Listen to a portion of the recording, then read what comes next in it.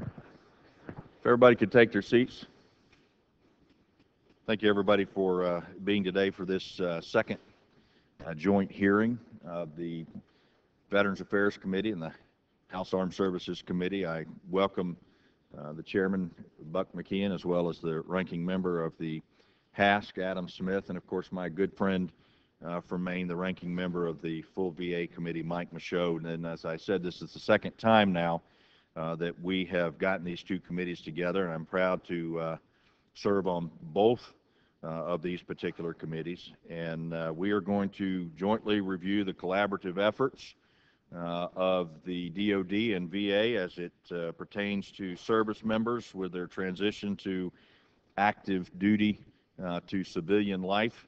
Uh, a year ago, we were privileged to have both Secretaries Panetta and Shinseki at the witness table, and both of them testified at great length regarding the progress VA and DoD were making in several key areas. And what I'd like to do uh, this morning first is to revisit uh, those areas in my opening statement. First, the progress made in developing an integrated electronic health record. Uh, secondly, the progress that's been made in reducing the wait times associated with VA disability claims, which necessarily does involve cooperation uh, from DoD in the transfer of records. So let's start, if we can, with the uh, electronic uh, health record. And in a response to a direct question last year, Secretary Shinseki remarked that the two departments had finally, after 17 months of discussion, agreed on a way forward on a single, joint, common integrated electronic health record that would be completed by 2017.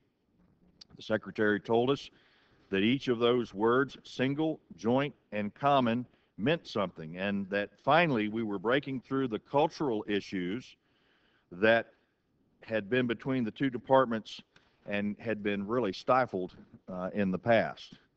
And we come here today and I say, what a difference uh, a year makes. Contrary to the Secretary's testimony that the two departments are once again moving on their own tracks with promises we've heard before about making the two separate systems interoperable. Pardon my frustration, folks, but it seems the only thing interoperable we get are the litany of excuses flying across both departments every year as to why it has taken so long to get this done. In response to this latest course correction, the House included an amendment in the National Defense Authorization Bill, an amendment that was developed in collaboration with the leadership of HASC and VA and the appropriators uh, to direct the completion of an integrated health record by October 1st of 2016. The message of the amendment is simple. No more excuses. Get it done. I'm anxious to hear from the witnesses today to hear how they'll comply with the mandate of the amendment once it is acted into law. And the second issue I'll briefly touch on is on the disability claims backlog. It's interesting to note that the progress made in reducing the pending inventory of claims the last few months correlates with a heightened congressional oversight and media scrutiny.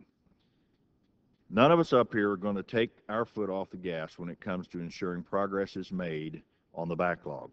Every member in this room will agree with that statement. And although progress has been made lately, VA is woefully short of its own goals for this year. So going forward, ending the backlog necessarily requires a seamless record transfer from DOD. I look forward to hearing the status of the efforts on, and what more can be done. The problem of veterans waiting years for their disability claims to be decided must remain at the forefront of our conscience, especially as further troop drawdowns occur over the next five years.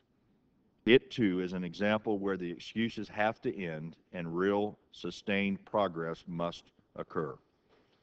To accommodate such a large contingent of members that are with us this morning, I've agreed to last year's framework that limited to two minutes of each member's time to ask a question of the witnesses. And I ask unanimous consent that each member not have not more than two minutes to question the panel of witnesses, starting with my very own question. Without objection, so ordered. I ask unanimous consent to include all members' uh, statements in the hearing record today. Without objection, so ordered. And I recognize the full committee chairman of the Armed Services Committee, Buck McKeon, for his opening remarks, followed by the ranking member, Mike Michaud, and then the ranking member, Adam Smith, for their opening remarks. Mr. Chairman. Good morning. I join Chairman Miller in welcoming everyone here today to the second special joint hearing with the Veterans Affairs Committee to continue our oversight on the Department of Defense and Department of Veterans Affairs collaboration to assist these members transition to civilian life. After successful, the successful joint hearing held last year, I want to thank Chairman Miller and Ranking Member Michaud for their leadership in continuing the shared efforts to provide our service members and veterans and their families the assistance they need transitioning out of the military and the benefits they deserve for having served this nation. At a time when we're rapidly drawing down our military, which I strongly oppose, particularly while we are still actively engaged in Afghanistan, the latest announcement of the Army's plan to restructure the Army below 9/11 force levels is another reminder of the impending military drawdown that will force an additional 100,000 service members and their families on an already overburdened veterans benefits system. Today's hearing will look at the Department of Veterans Affairs system for delivering benefits to veterans and the role of the Department of Defense specifically providing information and documents necessary for adjudicating a claim for benefits. It's no secret that the VA has a backlog of well over 500,000 claims from veterans. A significant portion of these claims are more than 125 days old, with some as old as two years. These claims are not only from recently transitioned veterans, but are from Vietnam veterans and veterans of the wars since then. It's easy to talk about a claim as if it's an impersonal object, but behind each of these claims is a veteran. You know, each of us as we go home and, and talk to our constituents, have people come up to us and tell us horror stories of things that have happened to them. And we all, nobody in this room would wants to see that happen. It's just, it's just a very difficult situation to to resolve all of these issues with. We're talking so many people. A veteran who willingly served this country and now is asking only what was promised for that service alongside many of these veterans or their families, families who stood by these veterans while they served, enduring the hardships of military life. These are the people behind these claims who are waiting for their benefits. We owe them an answer and we owe them our commitment to continue to ask the hard questions until we're satisfied with the accuracy and the timeliness of the benefits system. We find ourselves in a situation where it's tempting to place blame and look for easy fixes but that's not our purpose here today. I want to understand the reasons for the backlog, and I want to know what is being done by both departments to complete these backlog claims and expeditiously provide veteran, veterans with their benefits. Lastly, I want to know from the witnesses how the integrated electronic health record will assist each department fulfill its responsibility for timely delivery of transition assistance and benefits and what role, if any, the IEHR will play in reducing the VA backlog of claims. Furthermore, I understand that DoD already passes a significant amount of medical information to the VA, and it will be useful for all of us to better know how the IEHR will improve that sharing of information. I've been encouraged by the attention being paid the issue of electronic health records by Secretary Hagel since he took office. The DoD acquisition decision memorandum issued on the June 21st certainly conveys the sense of urgency we hope to instill with the amendment to the fiscal year 14 NDAA that I sponsored with the ranking member, Mr. Smith, and in collaboration with Chairman Miller, Chairman Rogers, Chairman Young, and Chairman Culberson. Both press for aggressive deadlines for implementation and increased oversight to ensure that DoD finally is able to field a seamless integrated electronic health record. What I hope today is to see similar commitment from the VA department and similar mechanisms to address the lack of measurable goals and accountability by VA that the GAO has pointed out in its previous investigations into the issue.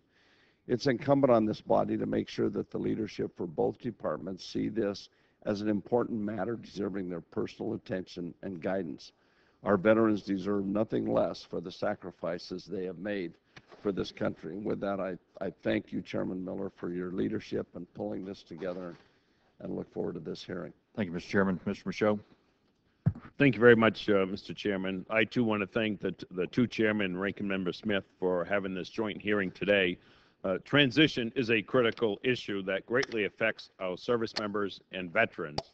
This hearing is the second joint hearing our two committees have held concerning transitions. The purpose of this hearing is to reiterate our joint oversight commitment and to ensure that the Department of Veterans Administration, and the Department of Defense work together on behalf of the men and women who are sent into harm's way.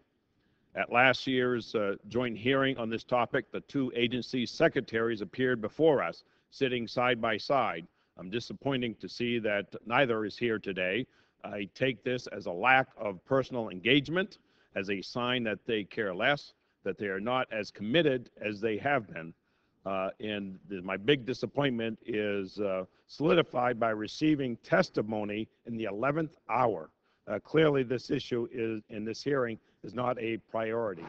Uh, I would uh, submit to you that the government has struggled to fulfill uh, the sacrificed, you know, trust to care for those who have served and sacrificed in defense of our nation. After 12 years of war, we know transition is the critical first step and it is uh, requires the cooperation of many agencies to accomplish successful. I do not believe that we've made a measurable progress in getting the two agencies before us today to work more effectively together.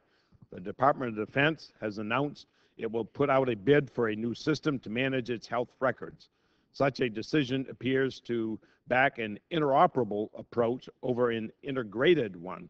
An integrated is, integ- is uh, integrated, not inoperable. Electronic health records is something that Congress has mandated years ago. It was spent hundreds of millions of dollars delaying the delivery of an integrated information sharing system, which runs directly against congressional intent and ultimately hurts our veterans. Also, of particular importance uh, to our committees is the claims backlog. Uh, let me be clear both the VA and the DoD have a responsibility to end the backlog by 2015. The claims backlog is not a VA issue alone. The Department of Defense must do, do a better job in transferring uh, information needed for the VA to approve or disapprove in a timely uh, manner of the claims. This includes records of our National Guards and reservists. It also includes late and loose records being sent to the VA because benefits and health care affect so many service members and veterans, DOD and VA must put aside their parochial differences and work more effectively together to ensure an integrated uh, process addressing uh, transition issues. Over the course of the last several months, we sent letters to the secretaries and the president asking for their personal commitment and support. We requested concrete decisions being made in a timely manner we, what we received as response is a no-show to this hearing uh, from the secretaries and the, the press conference that kicks the decision down the road once again. And it would appear that leadership is lacking, not just at this hearing. During the recent roundtable on the IEHR, industry leaders told us progress is not due to lack of availability, available technology solutions, but rather a lack of leadership. That's right. Several of the roundtable participants said there's a lack of leadership. When two divisions in their companies can't or won't agree, the CEO steps in and mandates a direction. Where is the DOD and the VA CEOs?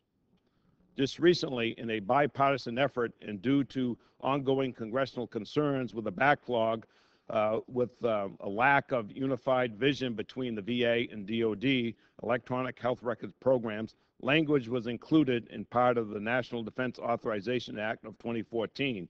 This language creates a deliberate approach in developing a joint electronic health records. I am told that uh, strategies have been modified and collaborative efforts are ongoing for both records transfers and IEHR. However, months continues uh, to go by with uh, seemingly no real progress. I look forward uh, to hearing from the panelists today just how far you have come and to learn about the path ahead on this transition issue and, uh, and look forward to your uh, those questions that we're going to be asking because this is a real important issue that we have to deal with. And unfortunately, there has been a lack of leadership. And I don't only say that with our two secretaries, also the President of the United States, who made it very clear uh, in this first term, he wants uh, both agencies to work together. And that leadership has been lacking as well in this particular issue. So I look forward to hearing your comments and to answering the committee's question. With that, Mr. Chairman, I yield back. Mr. Smith. Thank you, Mr. Chairman. Well, I think my three colleagues have correctly raised the three issues that we're most interested in today. Um, how do we get joint electronic medical records between the DoD and the VA? Uh, the transfer issue uh, when a veteran goes from being part of active duty DoD over to the VA.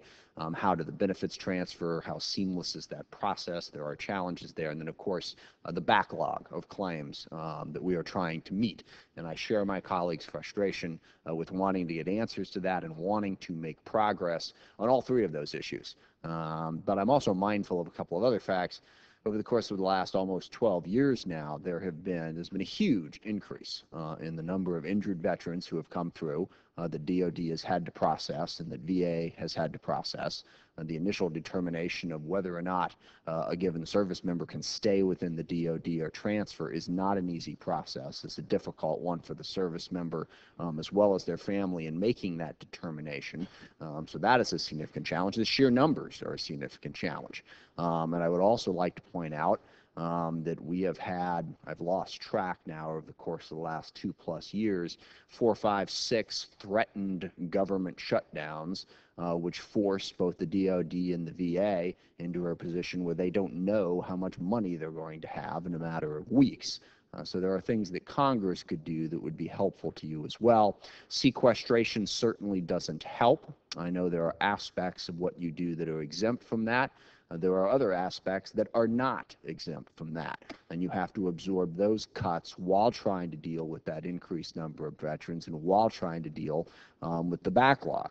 Uh, and then lastly, um, we have failed to pass appropriations bills in anything approaching a timely manner, uh, and in some cases simply outright failed to pass them uh, so that the VA and DoD for extended period of times are operating with a continuing resolution, uh, which again places them at a huge financial disadvantage. So I definitely want to see more leadership out of the VA and out of the DoD, uh, but I think Congress should also take a look in the mirror and pass appropriations bills and fund what we claim to be our top priority. Um, if we really want to get these systems integrated, if we really want to get the backlog cleaned up, then we need to start passing appropriations bills. We need to kill sequestration right now uh, and actually fund what it is that we claim is such a huge priority for us. Uh, so I hope all parties involved will work together uh, to achieve what is clearly our common goal. And that is that our service members who have put their lives on the line to protect our country and at our request, um, at our order as policymakers, uh, are taken care of um, that they are not part of a backlog. They do not slip through any crack in the system. They get the treatment and care that they deserve. Uh, but this is a collective responsibility between Congress and the executive branch to get that done. I hope today we'll learn more about how we can work together to make that happen. I yield back. Thank you, Mr. Chairman. Thank you very much, Mr. Smith. Uh, ladies and gentlemen, I want to uh, welcome our first panel and only panel uh, to the hearing this morning. Uh, first of all, the Honorable Frank Kendall, uh, Undersecretary for Defense for Acquisition, Technology, and Logistics at the Department of Defense. The Undersecretary is accompanied by the Honorable Jonathan Woodson, Assistant Secretary of Defense for Health Affairs and Director, of TRICARE Management Activity at the Department of Defense, and the Honorable Jessica L. Wright, Acting Undersecretary of Defense for Personnel and Readiness at the Department of Defense. And also with us this morning is Mr. Stephen Warren, Acting Assistant Secretary for Information and Technology at the Department of Veterans Affairs. And Mr. Warren is accompanied by the Honorable Dr. Robert Petzel, Undersecretary for Health with the Department of Veterans Affairs, and Mr. Danny Pummill, the Deputy Undersecretary for Benefits with the Department of Veterans Affairs. And I would say to, uh, to Danny, uh, congratulations uh, on your new position. Uh, we look forward to working with you uh, in the future. With that, uh, Undersecretary Kendall, you are now recognized for between five and 10 minutes. If you can hold it to five, that would be appreciated. Uh, Thank you, Mr. Chairman. I'll do my best. Uh, Chairman Miller, Chairman McKeon, Ranking Members Smith and Michaud, members of the committees, uh, thank you for the opportunity to discuss the department's efforts to improve and modernize our existing electronic healthcare records and our legacy healthcare management systems.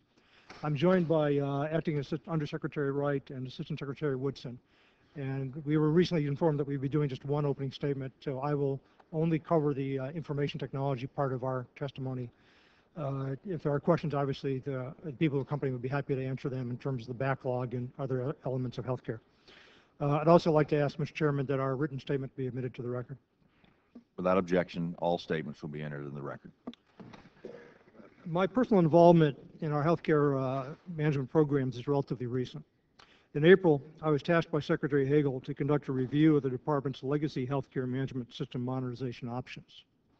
The options under consideration were upgrades to DoD's legacy AHLTA system, an evolved and enhanced version of VA's legacy Vista system, or conducting a competition that would include modern commercially available healthcare management systems, as well as potentially systems based on existing systems like Vista.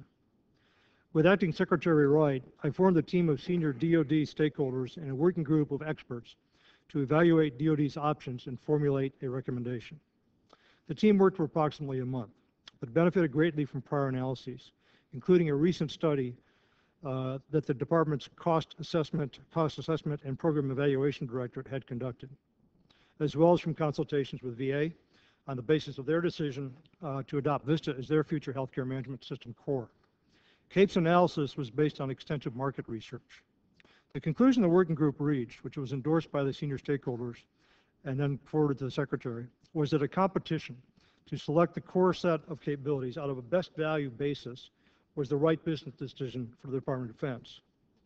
I've made the results of that review available to the committee staffs, and I'd be happy to answer your questions on the review or to brief any of the members on the details. Secretary Hagel made a decision to adopt the study recommendations. After VA's decisions a few decision a few months ago to stay with Vista as the basis of its future healthcare management system core software, DoD had a very different decision to make than VA did. VA has a large installed Vista base, a large in-house staff that maintains and programs software for Vista, and a workforce that is experienced and trained with the current vision of the Vista, of the Vista system. There are sound logical business reasons for VA's decision regarding Vista, but DoD is not in the same position. The marketplace that provides healthcare management systems has changed significantly in the last few years, as we have been going through the process that was alluded to in earlier testimony. That marketplace provides a range of products, modern products, uh, that have advanced significantly over the period of time that I mentioned. This is a vibrant market, and we would like to have the opportunity to select a product that includes uh, some of the offerings from that market. Our market research also showed that we would likely see Vista-based offerings from multiple competitors. The review Mrs. Wright and I conducted compared cost, risk, performance, and growth potential and concluded that a sole source selection of either Vista or DoD's AHLTA system was not the best bu- business decision for DoD. A logical and sound business decision for the department would be to conduct a competitive source selection on a best value basis. Let me assure you that nothing in this decision affects DoD's commitment to the joint near-term fielding of fully seamless integrated health records under the IEHR program being conducted by and managed by the Interagency Program Office today. Healthcare records and healthcare management systems are not the same thing. DoD and VA can share integrated records without having the same software to manage those records or to assist clinicians as they provide care. Secretary of Defense has also asked me to take a more direct role in the management of our health records and our healthcare management systems. We will continue to work closely with VA on all of these efforts. At this point, I'm still in the process of reviewing and assessing the current programs for IHR. But the DoD's commitment to fielding data management accelerators with VA this fiscal year and next year is firm. Uh, Chairman McKeon, you mentioned my acquisition decision memorandum. That was one of the first steps that I took once the Secretary asked me to, uh, to take responsibility. In addition, I've appointed some key leaders. Uh, Mr. David Bowen is behind me, uh, as well as a program manager for our modernization system, who will be, who will be, I hope, uh, executing some of the leadership that was mentioned earlier. Compatibility with ongoing joint effort to provide seamless integrated electronic healthcare records between DoD and VA will be a firm requirement as DoD works to select a core for its healthcare management software system. I am concerned that language in the House FY14 NDAA and in the House FY14 MILCON and Veterans Appropriation Act may overly restrict both VA's and DoD's options going forward, as well as impose significant oversight burdens on the program. I understand the members' frustrations. Uh, Mr. Chairman, you mentioned that with IHR, and I've reviewed the history of the last few years. But we would like to work with the Congress on less restrictive language that would both address your concerns and allow for efficient program execution. I commit to you that DoD will keep the committees informed of our progress and of any major developments in our healthcare record and healthcare management acquisition programs. And the DoD will work closely with VA to ensure that our shared goals of a seamless integrated record in the near term and modernization of our healthcare management systems in the midterm are accomplished efficiently and effectively. Our shared mission, the VA, is to fundamentally and positively impact the health outcomes of active duty military, veterans, and beneficiaries. Everyone on the panel before you, with one exception, is a veteran. We understand the needs of these people and we support them. Healthcare record and management systems modernization is a part of that process, and we believe the course we have chosen, chosen is a prudent, cost-effective path to achieving our mission. I'll be happy to take your questions. I would like to make one comment on sequestration. It was brought up by in two of the opening remarks. I, I cannot sit before this committee today, two days after we started furloughing our employees, and not mention sequestration. The effects of sequestration are real. They're distributed all across the department. They are not dramatic in any specific instance, but their cumulative impact is dramatic. And they're, they're having, a, and they will have over time, particularly if allowed to continue into FY14, a devastating impact on the department. I know I'm not here to testify about that, but I can't pass up the opportunity to mention that. Mr. Chairman, with that, I'll conclude. Mr. Warren. Chairman Miller, Chairman McKeon, Ranking Member Smith, Ranking Member Michaud, and members of the committees. We appreciate the opportunity to appear before you today to discuss the collaboration taking place between the Department of Veterans Affairs and the Department of Defense. I'm accompanied today on my far left by Undersecretary Robert Petzel for Health, and to my immediate left, uh, Mr. Danny Pummill, the Principal Deputy Undersecretary for Benefits. The efforts of our two departments reflect an unprecedented level of collaboration on a number of important goals to ensure seamless transition from service member to veteran. Through DoD and VA channels, such as the Joint Executive Committee, the Health Executive Committee, the Benefits Executive Committee, independent working groups, and the day-to-day work of our respective hardworking employees, our two departments are removing barriers and challenges which impede seamless transition. Our collaboration efforts with DoD are also helping VA meet its goals of increasing access to care, ending the benefits claims backlog, and ending veterans homelessness. We are making progress together in several key areas. Thanks to the Vow to Hire Heroes Act, we now enroll every new service member in e-benefits. Enrollment has grown to 2.6 million since June 2011, an increase of over 648%. We now have in place that single portal, whether you're a service member or veteran, you can come to find out not only what your benefits are, but also what the status of your claims are. Through e-benefits, the two departments provide veterans and service members a central location to research, find, access, and manage a growing list of benefits. DoD and VA fully implemented the Integrated Disability Evaluation System known as IDES in October 2011. IDES is an integrated DoD VA program for service members being evaluated for medical separation from military service that leads to faster processing time, increased transparency for the service member, and a single set of medical exams for single source disability ratings and much more. In April of 2009, President Obama directed the DoD and VA to work together to define and build a seamless system of integration for electronic health records. Today, DoD and VA are already exchanging a significant amount of electronic information and are taking aggressive action in 2013 to further expand these efforts. But most of the information today is not standardized. A key priority for both departments is to standardize electronic health record data and to make it immediately available for clinicians so that they have the information they need to make informed clinical decisions for our patients. A critical mission of both departments is to fundamentally and positive, positively impact the health outcomes of active duty military, veterans, and eligible beneficiaries. As a result, we have two distinct goals. Create a seamless health record integrating VA, DoD, and private provider data, and to modernize the software supporting DoD and VA clinicians. We are committing to doing both of these in the most efficient and effective way possible. VA is still on track with your support to deploy our core capability at two sites by 1 October 2014 and full operational capability by the end of 2017. We are also working closely with our DoD colleagues to address the benefits claims backlog. Today, many veterans wait too long to receive benefits they have earned and deserve. This has never been acceptable to the Secretary or the dedicated employees of the Veterans Benefit Administration, over half of which are veterans themselves. VA is implementing a robust plan to ensure we achieve our goal of eliminating the claims backlog and improving decision accuracy to 98% 2015. We are making progress in reducing the processing times for disability claims, and we are on track to meet our agency priority goal of eliminating the backlog of claims, those pending longer than 125 days in 2015. The total inventory of claims is now below 800,000, the lowest since April 2011, and the backlog has been reduced by more than 14% from its highest point just four months ago. For the second month in a row, VA claims processors set production records by completing more claims than in any previous monthly period. Collaboration efforts are ongoing with DoD to allow VA to receive complete service records and to receive them electronically for faster and more efficient processing.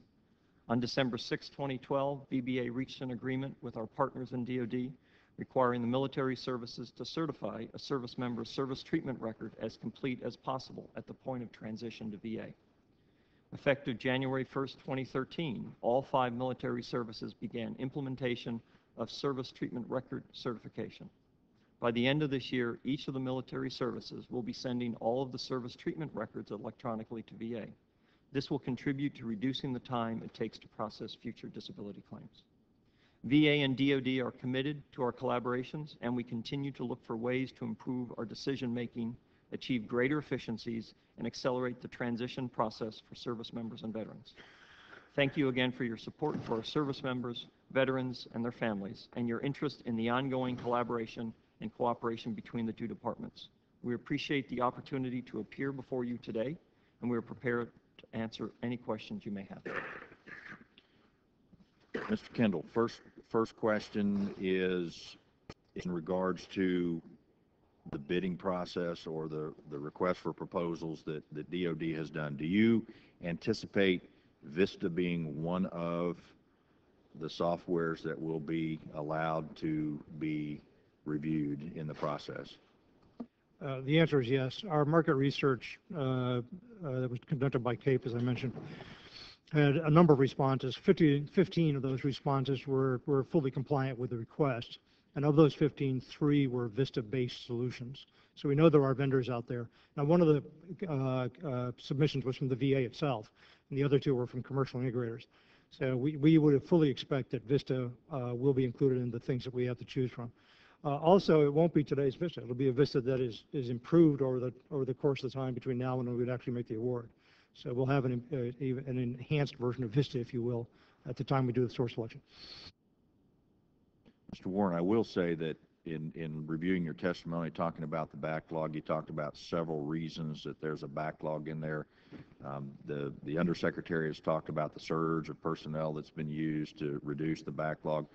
Nowhere do I see anything about anything that VA has done wrong, i.e. mismanagement of personnel. And my fear is that we're going to end up right back in the same place eventually. We may draw the numbers down, but if we don't change the system and how it's done, uh, we're going to continue to see the backlog. I mean, you know, the, the decision and all of that, I mean, that was, we knew that was coming. The secretary knew it was coming. He actually said that by 2013, now, we would be right back where we were prior to Nehmers. We're way above where we are. So, I mean, d- does VA have any culpability in in regards to the backlog, or is it just things outside their control? Mr. Chairman, if I could hand that to my colleague uh, from the Benefits Administration to respond. Uh, uh, Chairman Miller, um, One of the things that we, that we have done is the, the VBMS, the Veterans uh, Benefits Management System. Um, We were in a paper system when we started doing the Nehmer cases and worked through the Nehmer cases and got the additional workload from the current conflict. We now have a fully automated system rolled out to all 56 of our ROs. And by, by fully automated, I mean that it's in position at the ROs, and we're starting to do cla- claims electronically instead of paper. Uh, Today, about 20% of the total workload that we have is, is, is electronic, 80% is still paper. Our goal is to, you know, not only knock out the backlog, but to get all of that into electronic format. That'll put us in a position so that if a, uh, a claim comes in from Ohio, it doesn't have to be done uh, in, in the state of Ohio by a claims person in Ohio.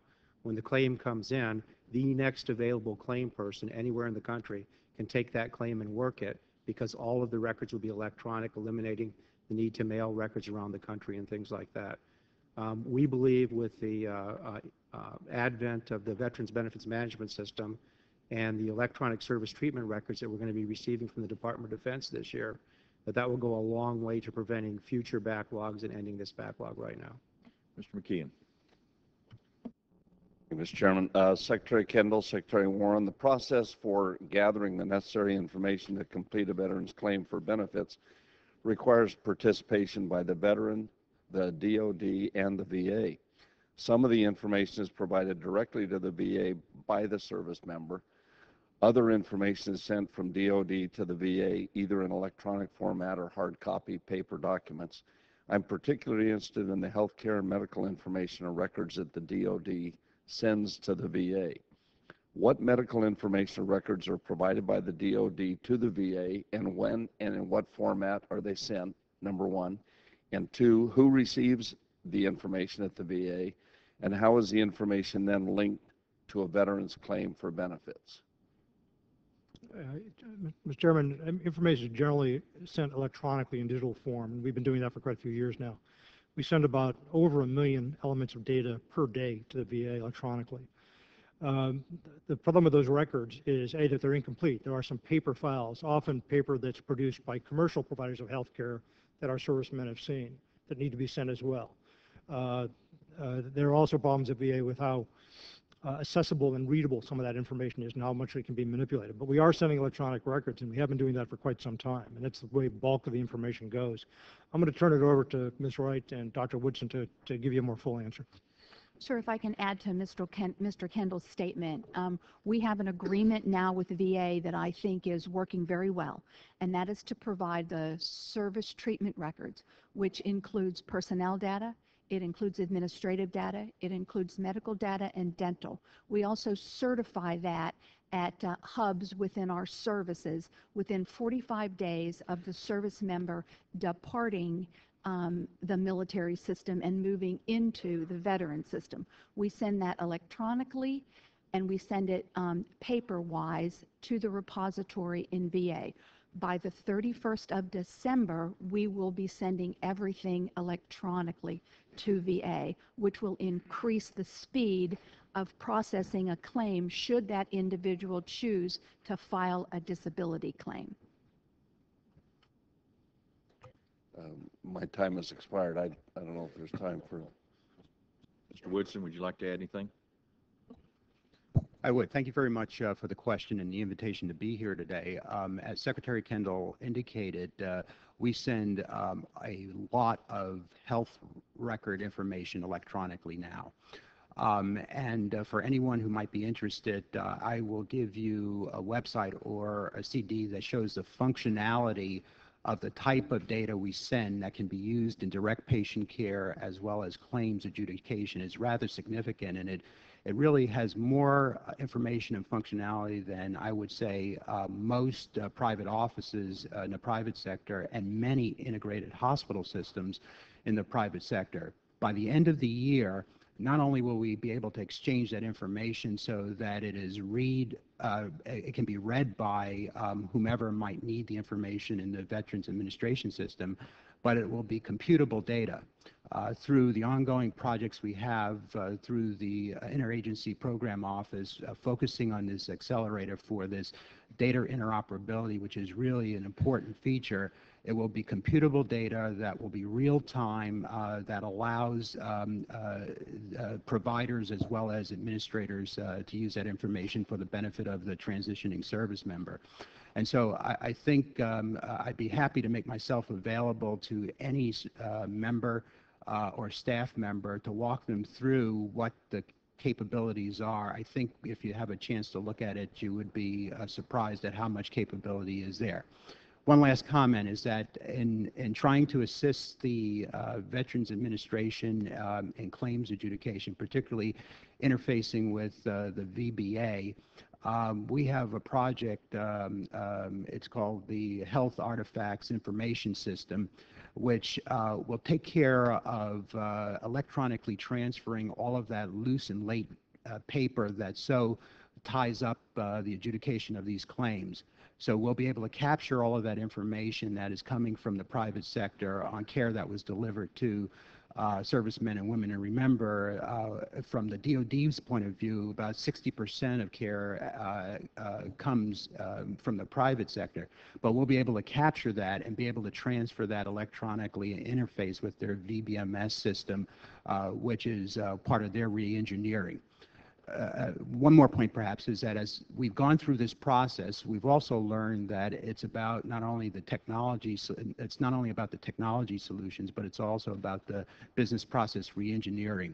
And I want to uh, thank actually uh, our VA colleagues because uh, we've, uh, through information sharing uh, summits and the like, have uh, illuminated areas where the business processing reengineering needs to occur so that they can take advantage of the technology solutions. So thanks very much for the question. Mr. Michaud. Thank you, Mr. Chairman. This question, I got two questions. So the first one's for Mr. Warren and Mr. Kendall. Uh, when will the two departments have a full capabilities of a integrated, seamless healthcare records that can be used as the president had envisioned? The first question. The second question is for, for Mr. Kendall, and, and I'd like to read uh, to you from the text of a March 28, 2013 memo from the Office of the Secretary of Defense regarding the pursuit of the President's open, open standards for electronic health records. And it reads in part, and I quote, Throughout the first term, the department's actions have been inconsistent with the president's agenda. The department's past and current desire is to completely replace its healthcare information technology package with an existing commercial healthcare management package. End of quote. It goes on to say that, and I quote, the department's resistance to the president's open standard agenda appears to be founded largely on an incorrect assumption. End of quote. My questions uh, to that those quotes is: Do you believe that the president's agenda was worth pursuing, or was there some mix-up at the Department of Defense? And please, you know, help me understand this because this has been going on for four years, long before sequester came in. I'd hope that you'll be able to uh, uh, give us some idea. So those are uh, my two questions. In 25 seconds or less. All of these terms have, like integrated record, carry an awful lot of weight and are interpreted differently by different people. My view is that by 2014, we will have integrated records that we share with VA. That's what the near-term projects are doing. It's what the accelerators, what Dr. Woodson mentioned, are doing. And it's important for the committees to distinguish between integrated records and healthcare management software. The healthcare management software doesn't just make a record. It helps the physicians do their job. And that's a very important reason for us to modernize our systems. But as far as the records are concerned, we will have records to common standards, and they will be movable seamlessly between DoD and VA for use by both benefits uh, uh, adjudication purposes and for healthcare purposes. Uh, your second question is about the um, the, the comments you made about the president's agenda. We are fully supportive of the president's agenda. So is VA. We're united in our effort to develop common standards and to support the national standards that the president articulated as a goal and that we're working on with HHS. So I, I don't know what the source of that quote was, but I think it is entirely incorrect. Uh, Actually, the, the, the quote was from the Department uh, of Defense, the Secretary's office. That's not, and I'll give you the memo from DOD, where they I'd made it happy very to take a clear it's look at it, but I can inconsistent tell you with what it's the in- President uh, it- it is directed in- them to do. I understand, but it is not correct. Mr. Smith? That's following up on the computer records a little bit, is it, is it the case that you're going, and I think you've mentioned this, but I just want to clarify, is it the case that you're going to have to develop a brand-new system that both departments can use, or do you think that there is a software fix that can get your two systems to begin to better talk to each other? We are currently talking to each other. I think there's a misconception about this. Yeah. We are sending electronic records today. So in that sense, we are talking to each other. VA can read DOD's records and we send them. Okay, we want to have an improved system from that. We're not just reading the records, but actually using them and using the data that's provided. We also want to eliminate paper that's currently part of the records that we're sending uh, for the reasons that I mentioned that were discussed earlier. So we're moving very quickly to accomplish those two things. That's a separate thing from the software that manages uh, healthcare provision. And that's, Right. and that's the distinction I want to make. And in the software management system, you are saying that you're going to come up with a new, relatively new system beyond what you have Our, right our choices are not between, we, we were on the path at one time to develop an entirely new system. Right. That was the history of this. That's a tough path. It is a tough path, and we, we decided to get off of it. Yes. Uh, The cost for that were going to be exorbitant. The, the last estimate that I saw was $28 billion of life cycle cost. So the decision was made a few months ago to get off of that path. Uh, Once we were off that path, VA made a decision that the best path for VA was to continue with Vista and evolve and enhance Vista into a modern project, modern, a more modern product. For DoD, as I mentioned in my opening comments, we have a little different situation. We have a very different situation. So we're not going to develop a new system. We're going to look at a range of options that will include commercial, mature products that are modern products that are being used throughout the healthcare industry. Because that, that's where the software improvement comes. I work work with a ton of companies, and I think, gosh, going back 20 years, we've had this history in a variety of different, you know, government agencies where they try to come up with some brand new system where what has evolved is software solutions to get old systems to better communicate with each other, and that is is the seems like the better approach. Uh, For, for DoD, it is better to have a choice among a range of options that Right. includes those types of systems. VA, as I said, is in a different position, and I'm not, they have Vista, and they have in-house programmers to work with Vista, et cetera, so they have an established base they can build on. It's not where we are. Um, There's an analogy uh, that you'll probably be familiar with from your Armed Services Committee activities with radios, tactical radios that DoD acquires, where we were doing a program of records that took years and years and years. Right. And Meanwhile, the commercial industry was moving forward very quickly. And we made, it- we came to a conclusion to cancel some of those programs and go out and do com- commercial-like competitions in lieu of doing our own development. So we're a little bit in that situation here. The, the, the tyranny of the program of record is a phrase that occurs to me many times when I look at some of our acquisition challenges, and I know you've done a lot of work to try to try to get around that. I yield back. Thanks. Mr. Runyon? Thank you, Mr. Chairman. Um, I know we've been talking here a lot about moving forward. Um, I sit on both of these committees, both Haskin Arms, Haskin VA, and I chair the subcommittee that deals with disability assistance and memorial affairs. My question is really directed both at the VA and the DOD, and this comes from a past VA hearing. Um, in the hearing, it was discovered that VA initially, when VA initially requests records from the DOD, and we're talking about paper records, we're talking about dealing with the current backlog. VA will wait 60 days before sending a follow-up request. Following that request, VA will wait an, an additional 30 days to respond, for DOD to respond before making another contact to DOD. This is a very large work window, and as VA is trying to adjudicate these claims in 125 days less, that leaves 35 days before the, they can actually get their hands on the paperwork. It was discovered through, uh, through the hearing that this rule was probably self-promulgated from the VA's um, adjudication manual.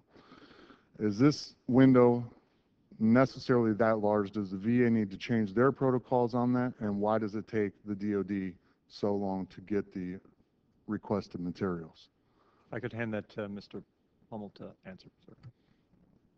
Uh, uh, Congressman, it's the, the, the timeframes that you quoted are, are, are accurate timeframes. And those timeframes are based on, uh, the requirement that we have in the Veterans Benefits Administration to assist veterans, a duty to assist, that says that if we get a record and we believe that the record is not a complete record, that we have certain timeframes that we have to re, re- re-request the record again. Now, we've actually fixed that in some work that we've done with Ms. Wright's office, in that the Department of Defense is already started, as of January this year, working to give us from the five services certified service treatment records. Basically, what they do now is they give us a service treatment record with a document on top saying that Department of Defense certifies that this is a full and complete record. That means that the record has all of the, uh, we have their personnel information, their dental information, their medical information, and not just treatment from a military treatment facility, but maybe if they went outside for TRICARE or something, that eliminates the need for the VA to go out and ask for any additional information. No more 60-day letter, no more 30-day letter. This will improve again when we get to December of this year and we start receiving all of that information electronically because we'll be able to ship it around to different places to adjudicate it. But yes, that was a problem. That still is a problem with veterans that are um, from previous conflicts that are not coming directly from the Department of Defense because we still have to go out and request any place they may have been for all their records to ensure that we have everything possible to give that veteran every benefit of the doubt when we're adjudicating their claim. Thank you. Chairman, I yield back. Mr. Takano. Thank you, Mr. Chairman. I- I'm pleased that DOD and VA, along with several other agencies, have collaborated to improve and reinvent the Transition Assistance Program. However, I heard from the California Department of Veterans Affairs that they are being excluded from participation in Transition GPS, the new program. State governments provide key resources and services for veterans, and I think it is important that they are included in the transition program. Can any of you address why the California Veterans Affairs Department is being excluded, or if that is a mistake, uh, what will you do to address the issue? Sir, I'd like to address that issue, please. Um, Any individual that spends 180 days on um, active duty is, goes through the transition assistance program that is a- a now a very active program at 206 installations throughout our system. It is a collaborative effort between Department of Defense, between VA, and between uh, Department of uh, Labor. The transition GPS will be up and running um, in uh, the 1st of October of 2013. In fact, we just all had a meeting about that yesterday. But there are tracks to that that those individuals that come through the transition program still do. They do MOS comparison to civilian, they do a transition plan, they do a financial plan, and they do a career readiness solution. Um, What will be added on the transition GPS are three additional tracks that could potentially, that are volunteer. The individual does not have to go through. So my concern is, I don't know if you're talking about a reservist or guardsman who is leaving the guard and reserve system, or if you're talking about somebody who is leaving the active duty system. So what I've explained is for somebody that has been on active duty. I would like to make an appointment with you and follow up to see if it's clearly on the reserve and guard side, and then I can answer your question. I'd appreciate that effort. Thank Yes, you. sir. Mr. Forbes. Thank you, Mr. Chairman. You've heard both um, Chairman Miller and Chairman McKeon mentioned the collaborative effort we have with DOD and VA. Um, One of the concerns that I have is with these furloughs that the Secretary of Defense has ordered. We know that the VA employees are exempt from that, but not DOD employees. And so my concern is what impact is that going to have on the transfer of this uh, information over from DOD. Um, and if we have a 20% loss in the time uh, that um, these employees have, are we concerned about the messaging that we're sending to our service members that after a decade of war that they have served their country, that the country is somehow content to give them 80% effort in this transitioning? Sir, if I may, thank you for the question. Um, I'd like to piggyback onto what Mr. Kendall said. Uh, sequestration is real in our department. I understand And- sequestration's and real. Some of us didn't support it, but the decision on the furloughs was the secretary's. Absolutely, sir. And furloughs are real, and they are catastrophic to the department, and they're catastrophic to the great civilian employees that work for the department. Saying that, we realize how important this is for those individuals that have served our country admirably in the military to transfer their records to VA in whole, in a whole certified manner, as Mr. Pummill brought up, the agreement that we have between the two departments. We are making that 45-day window. The reason we have a 45-day window is to collect all that loose flowing information from TRICARE and other agencies where we can then certify that they're correct and send them over to VBA, um, to their um, repository. So should the individual choose to file a disability, his, his or her records are there and correct. So yes, furloughs are real. Yes, they're damning. Um, but we have kind of locked this down as hugely important and we're putting a full court press on it, sir. And I felt four seconds. I don't think you've answered the question, but if you could, at some point in time, give us some metrics of a plan so that we can measure independently that we're reaching our goals. And with that, Mr. Chairman, I yield. Sir, we have the, if I may, Please. We have a metric of 100%. The last report from VA, and we get our numbers from VA, we were at 97% success rate of getting our records to VA on time. We collaborate every day on this. I can provide you more metrics if you Thank you. choose. I'd love to. Thank you. Thank you. Ms. Davis? Thank you, Mr. Chairman. Uh, Just, just quickly, since we have little time, how is the, how are the VA and the DOD working together on after-action reports regarding suicides?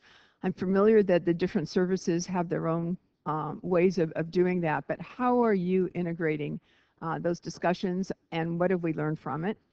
Uh, And secondly, what are we doing to reduce the stigma so that people who are having difficulties actually report those difficulties so that that goes on their their medical reports when they do apply for benefits later on. I understand that a number of people actually do not, and so when the VA has to rate them down the line, they have no nothing on which to base it, even though they've been serving for a number of years. Congresswoman Davis, let me um, begin at least to answer that question. The um, VA and DoD have a joint integrated mental health strategy. One element of that strategy is is suicide. We recently um, jointly developed an integrated uh, record-keeping system for suicide, where we collect the data from each one of the states as to the rate of suicide, et cetera, amongst veterans, collate that data, and then use it to analyze our experiences in the DoD on one hand and in the VA on the other hand. The second thing is that we have a number of joint efforts going on right now to destigmatize suicide, to make the connection campaign and the Stand By Them campaign are two efforts to destigmatize mental health in general, but suicide particularly, and to not glorify suicide. Um, the third element is the military VA crisis hotline, where people that are having a difficulty can call. We've received almost 900,000 calls since it began uh, almost four and a half years ago. 26,000 saves from that. That is people who were in danger of harming themselves or someone else that were rescued from uh, from doing that. The the the suicide work group, the mental health work group of our health executive council that VA and DoD jointly chair, it regularly reviews the suicide experiences um, within each organization and looks for in further joint efforts that Excuse me, are those shared with the family as well? Are those reports shared with the family? Um, i i i I can speak only for the VA in terms of the family, that uh, when we do a, uh, what we call a psychological autopsy on a patient or a review, yes, we would uh, do what we call institutional disclosure and discuss that with the family. Okay, thank you. Dr. Benishek? Uh, Thank you, Mr. Chairman. My question uh, actually is for Dr. Petzel. Uh, In 2008, the uh, NDAA, the, a joint DoD-VA Vision Center of Excellence was established at Walter Reed. The purpose of this center, along with two other joint centers of excellence was to improve clinical coordination and best practices between the DOD and the VA. The center was also tasked with developing a joint trauma registry containing up-to-date inf- info on the diagnosis, treatment, and the follow-up for injuries received by our nation's military. Uh, the Vision Center alone was allocated $6.9 million over five years. Uh, apparently, there's two current staff members from the VA located at the Vision Center of En- Excellence. This is despite repeated promises from the Secretary that there would be no less than six. Uh, why hasn't this, uh, more staff been committed to the Vision Center? Uh, Thank you, Dr. Benishek. My understanding is that we have committed the uh, staff that was initially agreed to. I will go back, sir, and find out. I, exactly I've also heard story is. reports that uh, the VA plans to pull out of the Centers of Excellence. Is there any truth to that? No, we do not plan on. We fully support the concept of the Centers of Excellence. Well, I'd like to be sure that there's six staff members, as the Secretary promised. I've also heard reports that the VA has been refusing DoD IT personnel with security clearance to access the VA health records for purpose of building the trauma registry. Uh, do you have any knowledge of that? I do not, sir. I would ask uh, Mr. Warren if he has any knowledge of that. I'd like to take that for the record, but I'm not aware of that taking place, sir. Well, let's let's follow up with uh, your staffs and that, so we get these answers because uh, I've got some credible reports that uh, indicate that these questions are valid. And- And can we reach out to your staff for further information? Yep. Thank you. Thank you. My time is up. Mr. Wilson? Thank you, Mr. Chairman, and thank you, Chairman Miller, uh, Chairman McKeon, for your leadership uh, to promote DoD VA uh, collaboration on behalf of our military service members and military families and retirees. Uh, Mr. Pummill, how many of the pending claims of VA is uh, waiting to process require information to be provided from the DoD to be processed? Um, uh, uh, About 4%. It's, it's not very much. Well, that, that's impressive. That's good. Uh, Ms. Wright, how many pending claims does DoD need to provide the VA information? So we're working on the 4% that we are required to provide. We are also providing the current service treatment records of those that are leaving, but those that are within the backlog is about 4%. And this 4% has been a significant reduction, apparently. Is that correct? We're working together, sir. We have a team on the ground, two teams on the ground at VA at their request, and they're working hand in glove with VA to bring down that number. Well, I, I uh, appreciate very much that information, and please keep us informed. Uh, Ms. Pummill, Mr. Pummill, do you believe that a joint DoD-VA integrated electronic healthcare record would substantially aid the VA in eliminating the cu- current backlog?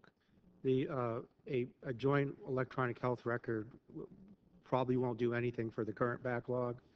Um, It'd be wonderful for the future to have everybody in the government to be able to look at one medical record and grab all their information. Uh, Right now, what we need is the uh, electronic personnel, dental, and uh, medical records, which we've got a commitment from the Department of Defense to get by the end of this calendar year. And uh, for claims purposes, that, that's, that's what I need.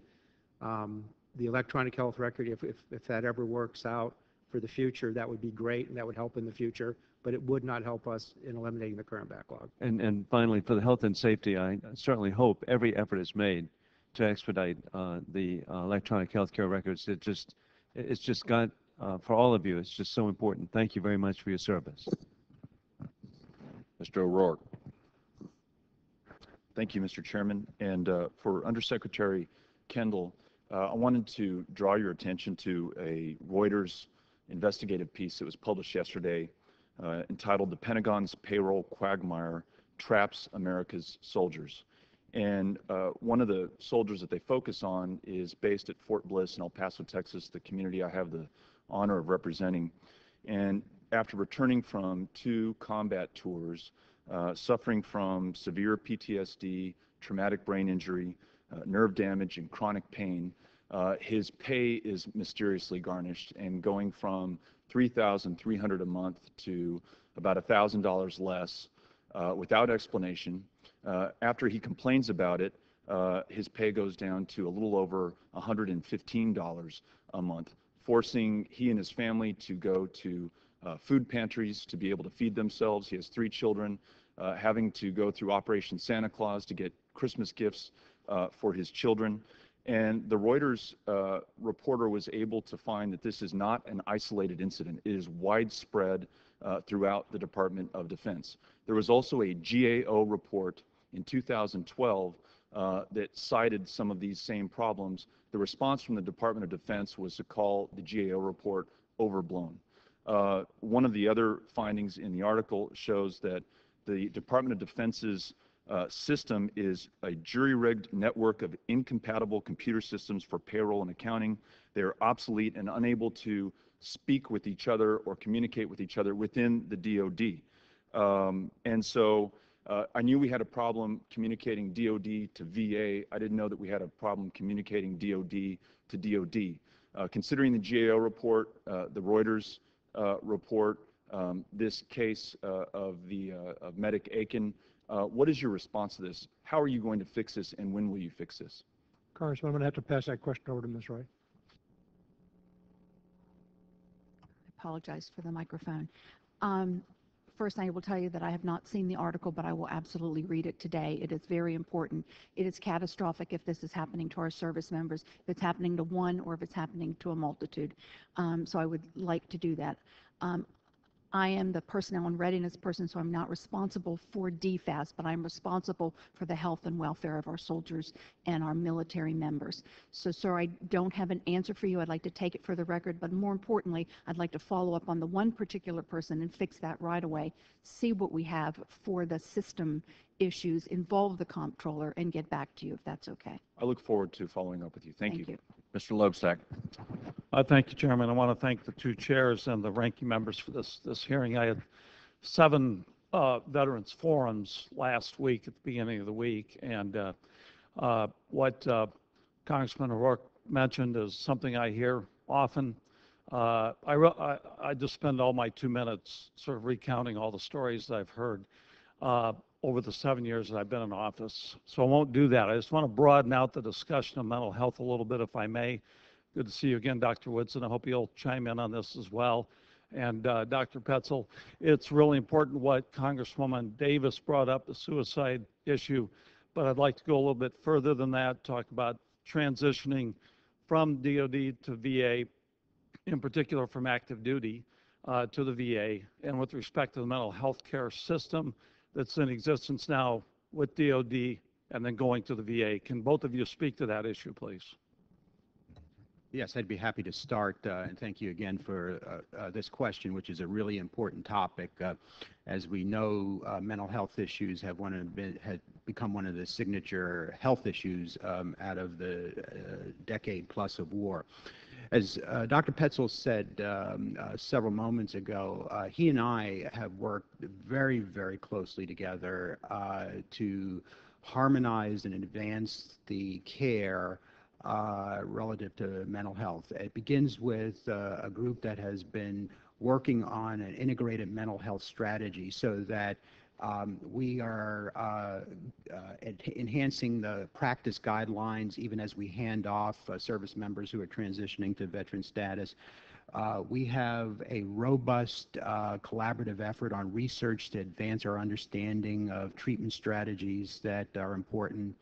Uh, we have a uh, significant collaborative effort uh, to ensure transition is smooth in transition programs, making sure that there is a follow-up at the VA um, we have uh, developed um, a, series of initiatives uh, that uh, are looking at um, uh, what kind of care is being delivered and its effectiveness. And we discuss this every month in terms of how to move this ball forward. Um, the development of applications that can be used by individuals who might have PTSD uh, to um, uh, enhance resolution of uh, uh, their symptoms. Um, what has been interesting, and this goes to a question that was asked earlier about uh, suicide, is that we've learned something from the studies that have been done in the Department of Defense and in the Department of Veterans Affairs, that in fact we have slightly different issues uh, relative to the cohorts that we need to focus on and how we need to tailor some of our um, suicide prevention programs and campaigns. So within the Department of Defense, um, the uh, biggest profile at risk are the young individual, uh, first time enlisted, uh, who has financial problems, relation problems, maybe previous family problems prior to coming into the service. Uh, whereas in the Veterans Affairs, it's the in, uh, vet in the 50s or 60s uh, with uh, additional uh, qualifiers. And so it's been very important to understand that bimodal uh, set of events so that we can individually address uh, what might be the factors uh, for uh, the people uh, in our society and, and the people we're responsible for that are most at risk. But the bottom line message I want to leave you with is that um, uh, Dr. Petzel and I, as uh, the, the people principally responsible for this, uh, work enormously closely together to uh, try and enhance uh, our understanding, um, treatment strategies, prevention. Uh, and, I, and I would just say that, uh, you know, we're doctors, and so we don't just concentrate on medical issues. We're talking about how to develop comprehensive uh, programs writ large uh, to get communities involved, the crisis line, uh, uh, try and educate families about uh, um, risk factors and profiles of people at risk. Uh, so um, we uh, co-sponsor a suicide prevention um, uh, conference to bring our people together to look at uh, uh, what we should be doing and what advances should be made. So um, difficult problem, but uh, uh, we are uh, 110% after this together. Thank you. Mr. Chairman, could I add just 30 seconds to Yes, what Dr. Woodson said? Thank you. Um, Two things. Number one is that we have a series of case managers that we share that uh, transit the seriously ill and injured people from the DOD into the VA healthcare system, and this includes people with serious mental illness. Um, We are hoping that the Transition Assistance Program, the new TAP, is going to have in it an even better way of making a hot transfer for people that are ill, not necessarily in the seriously ill or injured group, but, but do need that kind of transition. And the last thing I'd comment on, just to reiterate what uh, Dr. Woodson said, I've been in the VA for a long time. I've worked with DOD for a long time. The level of collaboration and cooperation in the clinical sphere in medicine right now is unprecedented. I mean, absolutely. We share so much and do so many things now jointly that we wouldn't have even dreamed of five or six years ago. Thank you. Thank you, Mr. Chair, for indulging for such a lengthy period. Mr. Coughlin? of Answer. Thank you.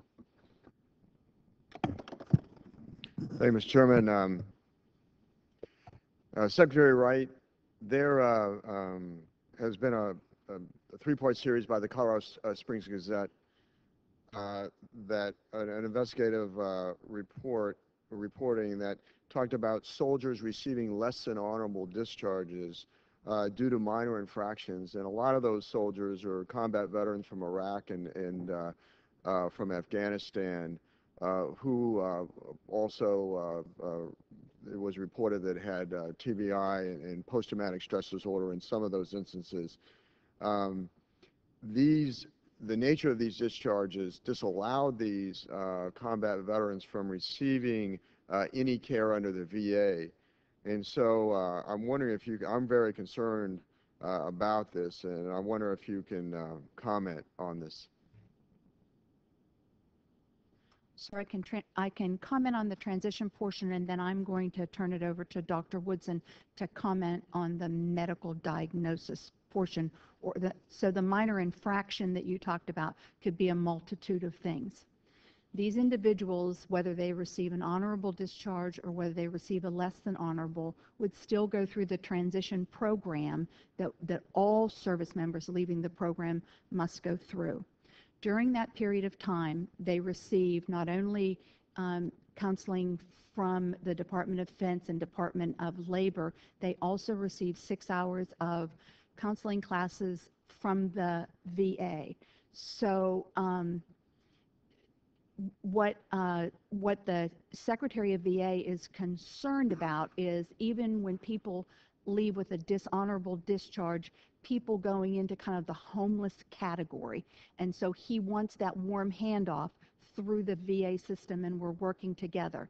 Now, your question involved those that may have PTSD or another type of diagnosis that could have related to the dishonorable discharge. And I'm Less than, uh, less than, hon- there's a di- less than honorable discharge versus dishonorable. There's a pretty significant. Yes, difference. sir, less than honorable versus dishonorable. So I'm going to turn that over to Dr. Woodson because we are doing something to review those cases. Uh, Again, thank you for the question. And again, uh, just to restate, I think at the heart of your question is whether or not some individuals are being discharged with less than honorable discharge, being denied benefits, and in fact have an injury of war. Um, And so uh, we've enhanced our screening and required screening that if someone is being discharged for um, what is considered uh, um, uh, bad conduct, dis, uh, bad conduct discharge, that they have to go through certain screening for PTSD um, and TBI to ensure that that is not a contributing factor. Um, so, um, uh, you know, heretofore, um, there were examples of individuals because, um, you know, line leadership just was not clinically oriented and someone did a bad thing. But the, the question was, what was the root cause of uh, that change in behavior? Was it a brain injury or was it um, uh, PTSD? Uh, we now have uh, screening mechanisms to uh, look at those issues. Sir, if I can follow up on one more thing. Um, uh, At the beginning of a war, we may have diagnosed them as having an adjustment disorder, which is different than PTSD or Right. TBI, of course. So we have rescreened those cases within the services. That doesn't mean we can reverse the discharge because it may not have been, uh, you know, I don't know what the particular issue was that created that particular discharge, but we are working through each and individual case to see if we, if the misdiagnosis was there, which could have resulted in the, um, in the unfavorable discharge. Thank you, Mr. Chairman. I yield back. I would just like to see treatment available to these, uh, uh, these uh, soldiers, Marines, airmen, and sailors who have served this country uh, uh, uh, in combat and, and are being discharged uh, for minor, were discharged for minor infractions. Mr. Conaway. Thank you, Mr. Chairman. Um, I was struck by the uh, sincerity of each one of your answers, particularly when you're confronted with uh, what appears to be a failure, like Mr. O'Rourke was uh, mentioning earlier, uh, and wanting to get at it. But I like Mr. Kendall, Mr. Warren, to think about the word accountability. Uh, Each of you have talked about um, deadlines and progress to be made in the future, and those kind of things. Um, If those things aren't met, what is, is, is anybody's performance evaluation uh, affected, Are the consequences for anybody in the system for failure to meet the deadlines that, uh, that you're being set? Absolutely. One of the things I've asked for the IPO to do, and we'll be doing this together with Mr. Warren, is to lay out a set of commitments, a list of deliverables with schedules that we, we, we expect them to deliver. As those will be shared commitments between ourselves and DOD and VA, and the IPO will be held responsible. It's similar to what we do with all of our program managers and program executive officers. We're going to be managing this program. So a year from now, we would be able to look at a, a- an evaluation report from somebody who had a standard to be met, didn't meet it. There would be a consequence on their personnel evaluation, and they'd either be fired or demoted or held accountable some way? Yes. Okay, Mr. Warren, how about your side? Uh, The same, sir. Say again? Yes, the accountability and the responsibility to perform to the standards and the commitments we've made is in the performance plans, and individuals are held accountable for those, sir. Okay. You just used the word past tense, are, or currently. So Will- we could look will- at your are and system. will be, sir. Well, but we could look at your system and actually see where somebody was disciplined or uh, demoted or fired or something because they didn't meet some important deadline? Or- Or their performance rating was less than uh, an outstanding. So a- again, remember, the, the way the performance program works is you lay out. How many, how many times you get outstanding? uh, I, I will get you back that number for the record, sir, I but I mean, will The tell the you. issue that- is if everybody gets an outstanding, then that's, that doesn't mean anything. So if, if, I will assure you, sir, that in the senior exec, executive cadre at the VA, the number of outstandings has steadily decreased over the last couple of years as a result of the system of accountability that Secretary Shinseki has brought to the department, and not just for the senior execs, but in other areas. And we'll, we're glad to get that to you for the record, sir. I appreciate that. Yeah, Yield back. Thank you. Which means there are a lot of bonuses being given out. Ms. Brownley. Uh, Thank you, Mr. Chair. And um, I uh, also wanted to sort of follow up on this accountability issue and benchmarks, um, et cetera. So you, you, you're saying that you have provided them. Um, and I want to know how you are going to report back to us and your process by which you're meeting those benchmarks. Um, how, what's your recommendation and the best ways for us, us to hold, to monitor what you are doing uh, over, over the course of the next 18 months? I think you said, I wasn't here for the part of the testimony, but my understanding was that you would have this complete by 2014, the integrated system, health system. We have a set of near-term goals that we share that the IPO is executing. I haven't reviewed them in detail yet, uh, but I will be doing that very shortly. And we will have commitments on what we will deliver and when. I don't think it'll change substantially from the current plan. I am concerned about some of the schedule risk and some of the things we're doing. We'll be in close contact with, with the committees and their staffs as we go throughout this process. We know there's a lot of interest in these programs and in their success for very good reasons. So we also know that the history has been a source of some frustration. So we're going to keep in close contact. We will have specific benchmarks that we have to meet, and we'll inform you of how we're doing against them. And, and you'll have those complete by, Um, I should have some of those within, in place within the next few weeks, from my perspective, I think some already exist from the perspective of the VA that uh, they're more confident of than I am right now. The, the VA has uh, commitments in place. In fact, uh, the near-term accelerators that we've been speaking about today, uh, there are sites where we're deploying that integrated viewer. It has taken place during the month of uh, July. The end of the month of July, we'll have it at all the polytrauma units, so we will complete that. Uh, By the end of December, we will have uh, built that viewer where today you're seeing the information separate, but as a result of the work on, on data translation, you'll be able to see a blended view. That will be by the end of December. Uh, So that is on the joint side. Uh, We are still finalizing the deployment schedule of that joint viewer at different facilities and capabilities in 2014. That is the, the piece uh, uh, Secretary Kendall was referring to. On the VA side, we have a commitment to ensure that we're deploying the, the core capability, which is about 15% of the IEHR uh, that the VA made the decision on back in December uh, by 1 October next year at two locations, Hampton Roads and San Antonio. So there, there is a set of near term that we are making great progress on, uh, and there are some out year uh, commitments that we've made in terms of um, deploying systems and making the necessary enhancements. thank you. I yield back. Ms. Tsongas.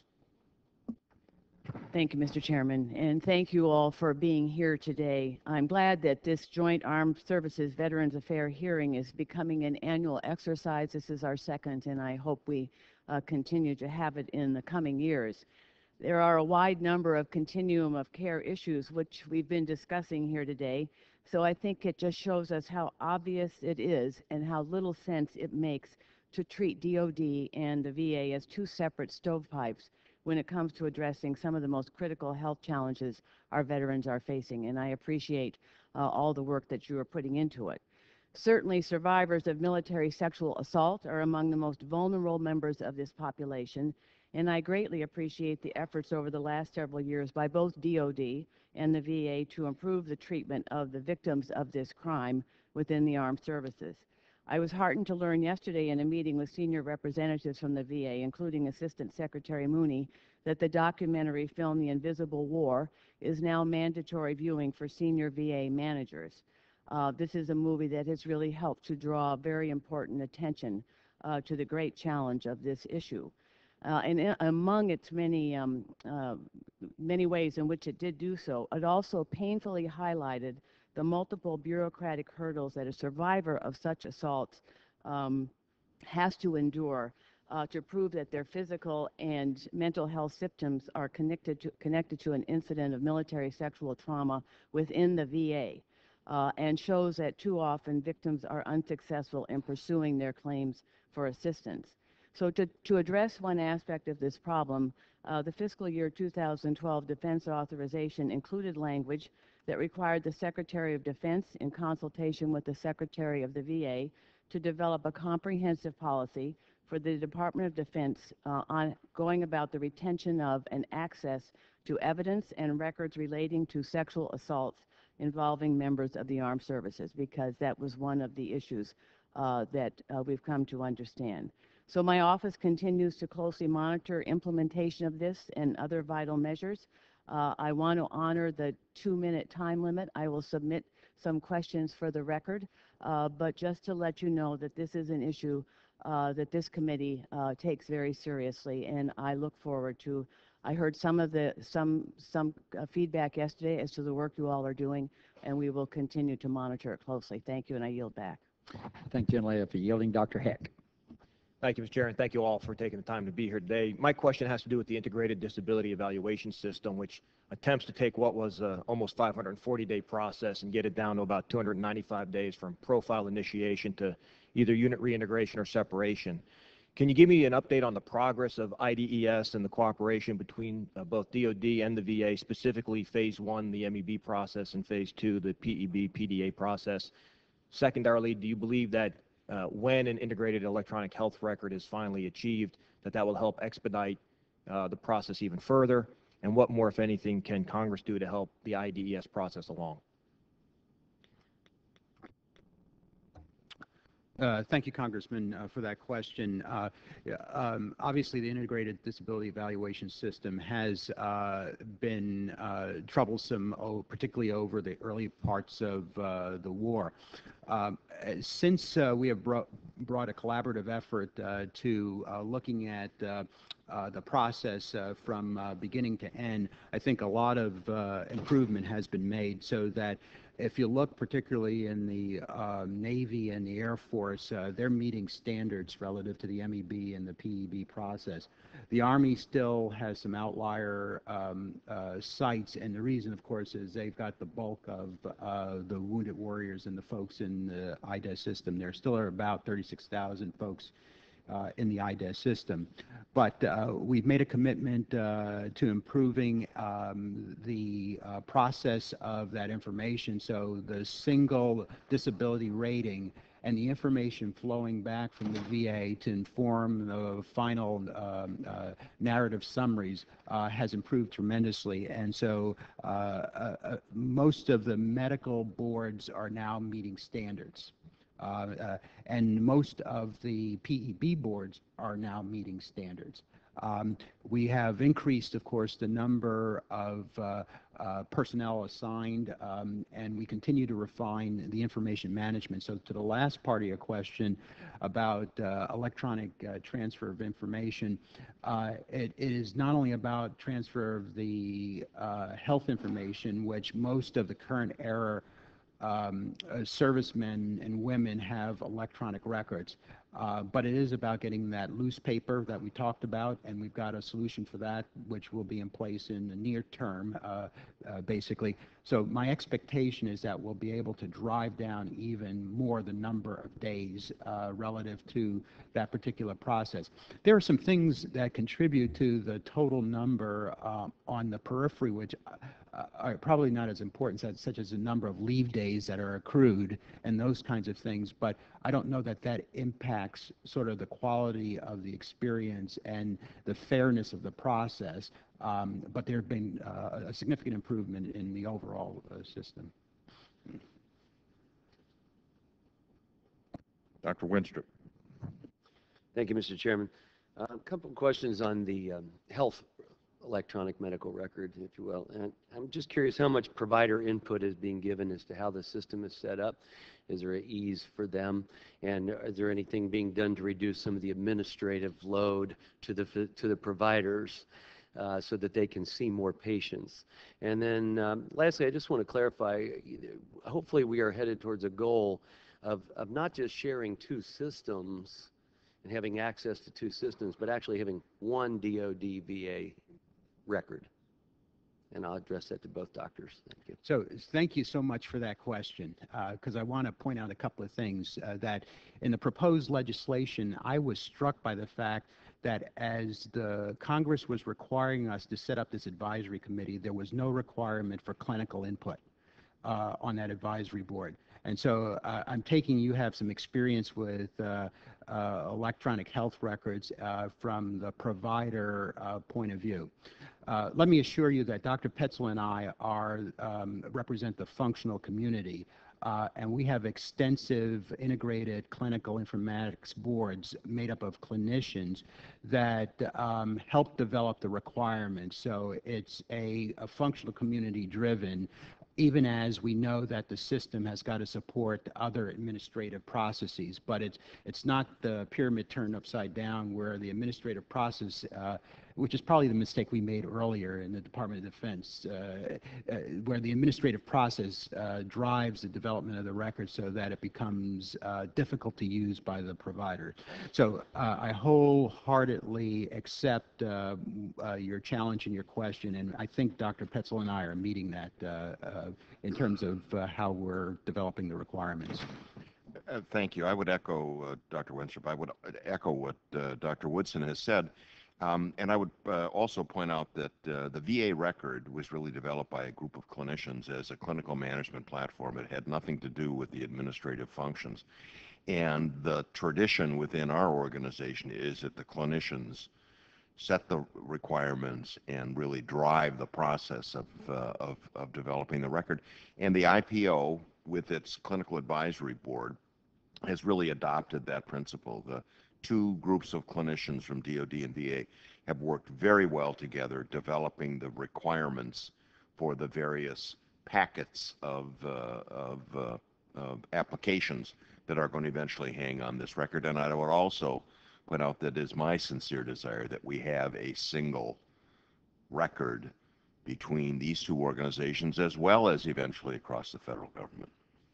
Uh, sir, if I might just add one, one particular point, I, would be very happy to work with uh, any uh, clinicians or members of Congress who want to look at the functionality of what we're rolling out this year uh, to make sure that you understand uh, what we're really delivering in, delivering on in terms of that uh, integrated interoperability piece. It's usable.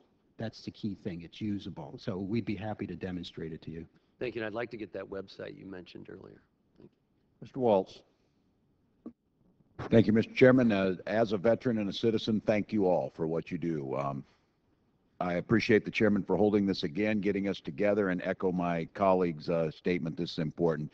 Mr. Pummill, two questions to you. I'll ask them both together and get my response. Uh, you have the authority to uh, to issue interim, partial, or temporary uh, disability benefits. That obviously speeds the process along. It gets important things like voc rehab, to our folks right away before these become chronic problems. Uh, I have to tell you, it doesn't appear to be happening in southern Minnesota when I check around the country. My, my question to you is, are VA opposed to interim ratings and compensation uh, that's been determined there's going to be at least 30% because I, I, don't see it happening. My other question deals with private medical evidence. You use them for uh, for DBQs, but we're having a problem getting that in to get some of the ratings done. I, I, have a piece of legislation along with Mr. Denham to uh, to try and use that. Let's maximize our resources. Let's have a force multiplier and use these medical evidence, get them in. You already use them for DBQs. Why not further them along? Those are my two questions. Um, the first question, um, um, are we opposed to the, the interim ratings? No, we're not. And I'll have to check and find out what's going on. On the second one, we, uh, we, we do have a problem getting private medical evidence. Um, a, a, lot of the, the raters that are out there that are actually doing the rating of the service members, um, when I go around and talk to them, tell me that, uh, you know, sometimes you have to query a doctor's office three, four times trying to get the private medical evidence. So anything that we can get that would help us speed up getting that private medical evidence, we're hoping that the DBQs will be a big step in that, where the service member can walk in and say, uh, doctor, could you please fill out this DBQ? It's uh, pretty self-explanatory, easy to fill in the blanks, and they can do it electronically or by hand and get that from the doctor.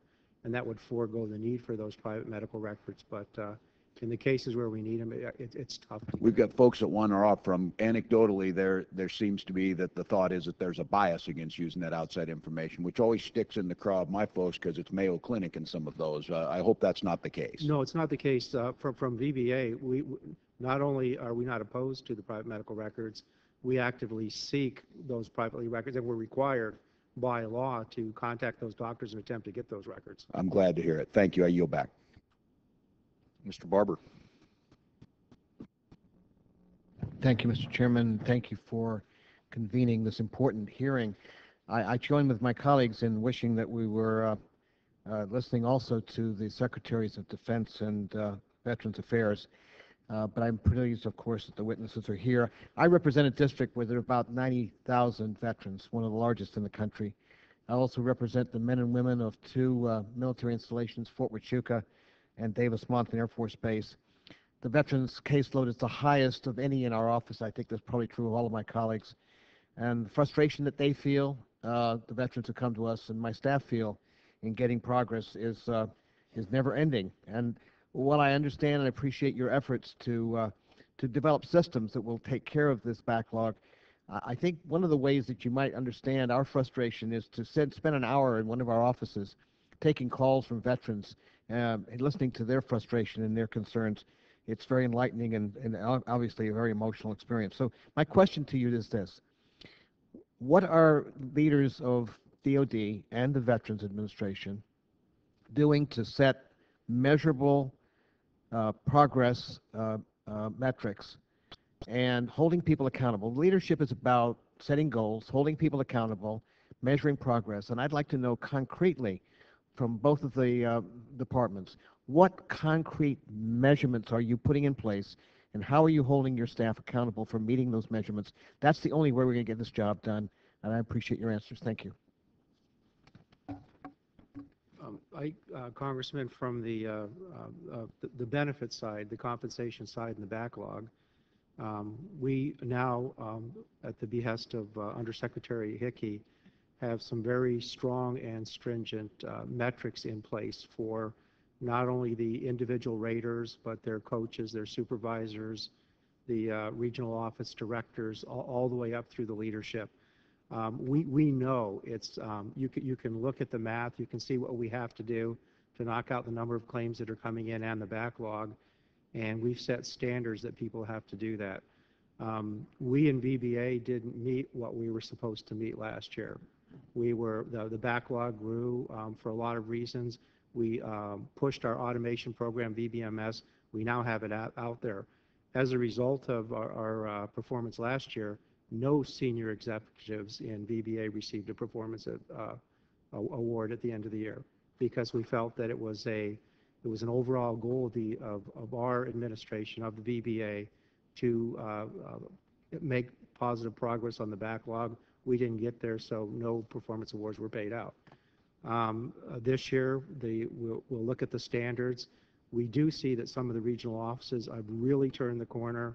The ones that have got, the, um, some are really embracing VBMS and starting to churn out the claims, thus two months in a row of, of breaking an all-time record, but that's still not enough. We're still not where we need to be. We have a higher standard we need to reach, and we will hold people to that standard. Thank you. And from Defense? Thank you, sir, for the question. Um, uh, As we talked about before, we, we are the, the uh, providers of information so VA can process the claims. We're not the claims processor, so it's our responsibility to provide that information. So um, working with VA, there was about 4% that we owe. We have, uh, and those are for the backlog. So we have two teams on the ground that are hands-on going through these records, calling back and getting, seeing if this information is in DOD and providing that to the disability claims adjusters so they can adjust the claim. We also, according to VA, they said the single most important thing that we can do to assist them was to provide them with the, the certified service treatment records. So to hold people accountable, both myself as the acting undersecretary and the vice ch- uh, chairman of the Joint Chiefs of Staff receive reports weekly to make sure that we are working towards the metric of 100%. We are at the 97 percentile now, and we are working towards the metric of 100% within a 45-day window of when the service member departs DOD. Thank you. Mr. Chairman, I yield back. Mr. Scott, then Mr. Ro- Dr. Roe. Thank, thank you, Mr. Chairman. Ladies and gentlemen, thank you for being here, and I, I do believe you're sincere in uh, trying to, to cure this backlog. My, my questions will be more for uh, Dr. Petzel and Mr. Warren, uh, if, if you will. And we all know, as, as I just said, that the veterans are waiting too long to have their benefits processed and receive the benefits. And uh, in the private sector, um, beneficiaries would actually be receiving an interest payment for uh, the time between when the claim uh, should have been adjudicated and when it actually was, and that's something that we may need to look at from our side. I'm glad to hear about the, um, the VBMS software and the continued progress there that's going in. And my concern comes from the reports and, and the delays, and I know you've addressed this, just the months that may take place before the veterans' records are processed into that VBMS system. And I know many of them have to be manually scanned, and many of them probably have to be transcribed, uh, and that contributes to, to the delay. But one of the things that I think also contributes to the, to the confusion and the delay is that veterans, because they're unable to track their records, resubmit their records, which means there's more paper uh, coming into to the system and more files. And so, um, what's being done to, to, to speed up that or, or at the least track the records? And, I- and I think if there was a tracking system so that the veterans could go online and see that all of the paperwork had been received and that their claim was in process and where it was in line and being processed, that may resolve some of that. And if you'd speak to that, I'd appreciate it. Uh, Yes, Congressman, I'll answer that question. Uh, You hit the nail right on the head. Um, Our big problem in VBA is always going to be, um, for the next few years, we're going to receive a million claims a year. Uh, Most of those claims are going to come from outside the Department of Defense. The Department of Defense claims that we're- we're going to get um, from service members that are leaving active guard and reserve, um, we'll have the electronic personnel, dental, and medical records, so we'll be able to do exactly what you say for all the other veterans that send us in the paper and, and multiple copies of the paper, we're still going to have to take those records, ingest them through some scanning system that we have in place, and put them into VBMS. Right now, as I stated before, we're only at 20% done with that right now. We still have 80% to go, and it's probably going to take us about a year to get the ones that we have in. Meantime, a million new ones are going to come in in the same status. So it's a never-ending uh, problem. It's always going to be there. One of the, the, the uh, future things that we have in VBMS is if you go into My E-Benefits right now and you file a claim, you can see when your claim is filed, but what you can't see is, have we received your records? What's the status of your claim? Future upgrades of VBMS, I'm not, I, I think it's December 6.0, will allow the veteran to see when the claim arrived, what the status of their claim is. And the VBMS software has built into it right now for the scanning. If you, in the, if you scan a document in a medical record, and then six months later, you send us the same medical record, the system will identify there's a duplicate of that record because it's, it's a semi-intelligent system and will, will prevent that new record from going in. What, what it doesn't prevent is when it arrives, the clerk that gets it doesn't know that it's already in there. So somebody has to take that record, mm. get it to the scanning operation, rescan it, and then once it's there, we realize that we already have it. Mm. It'll prevent having extra records, but we don't know how to prevent the work in the first place, other than to notify the veterans, please go online, My E-Benefits, register, look. You'll see that we did get your file. You will be able to actually go online and look at your file. Right now, I can go into My E-Benefits. I went in there last week, and I was missing one of my personal files from my time in the Army. And through My E-Benefits, I linked into my, my Army electronic record, was able to get the personal file downloaded and ship it over to the VA. Still a little complicated, but it, we're getting better and better at it, Congressman. Dr. Roe and Ms. Kirkpatrick. Uh, Thank the chairman, and thank you all for being here. It's good to see you all again. And uh, just a couple of three quick things. One of the, as Mr. Scott and Barber both mentioned, um, one of the most common thing that Congressman, probably everybody up here has, are are backlog VA claims. Why can't they get adjudicated uh, quicker? And I know these 800,000 claims are likely a hodgepodge of uh, World War II, uh, Korea, Vietnam, uh, Desert Storm, and so forth. So I think I think that's correct. H- How many of those are in an electronic format where you could actually look at them, that you've scanned them in? H- uh, Where are they? That's one. And then the second question that I still want to get an answer to, that I'm still not sure I do. I know that the DOD has an orphaned uh, electronic health system, and they're, they're going to have to replace it, either software or new hardware upgrades. I, I think what everybody's asked, but it's still not clear to me, is that when a, when a young soldier, an 18-year-old soldier, takes the oath, and, and goes into the military, well, well, that system that the DOD has as an electronic record, be able to transfer directly to the VA and speak seamlessly to the VA. When this is, when we spent billions of dollars, we just spent a billion, and we couldn't do that.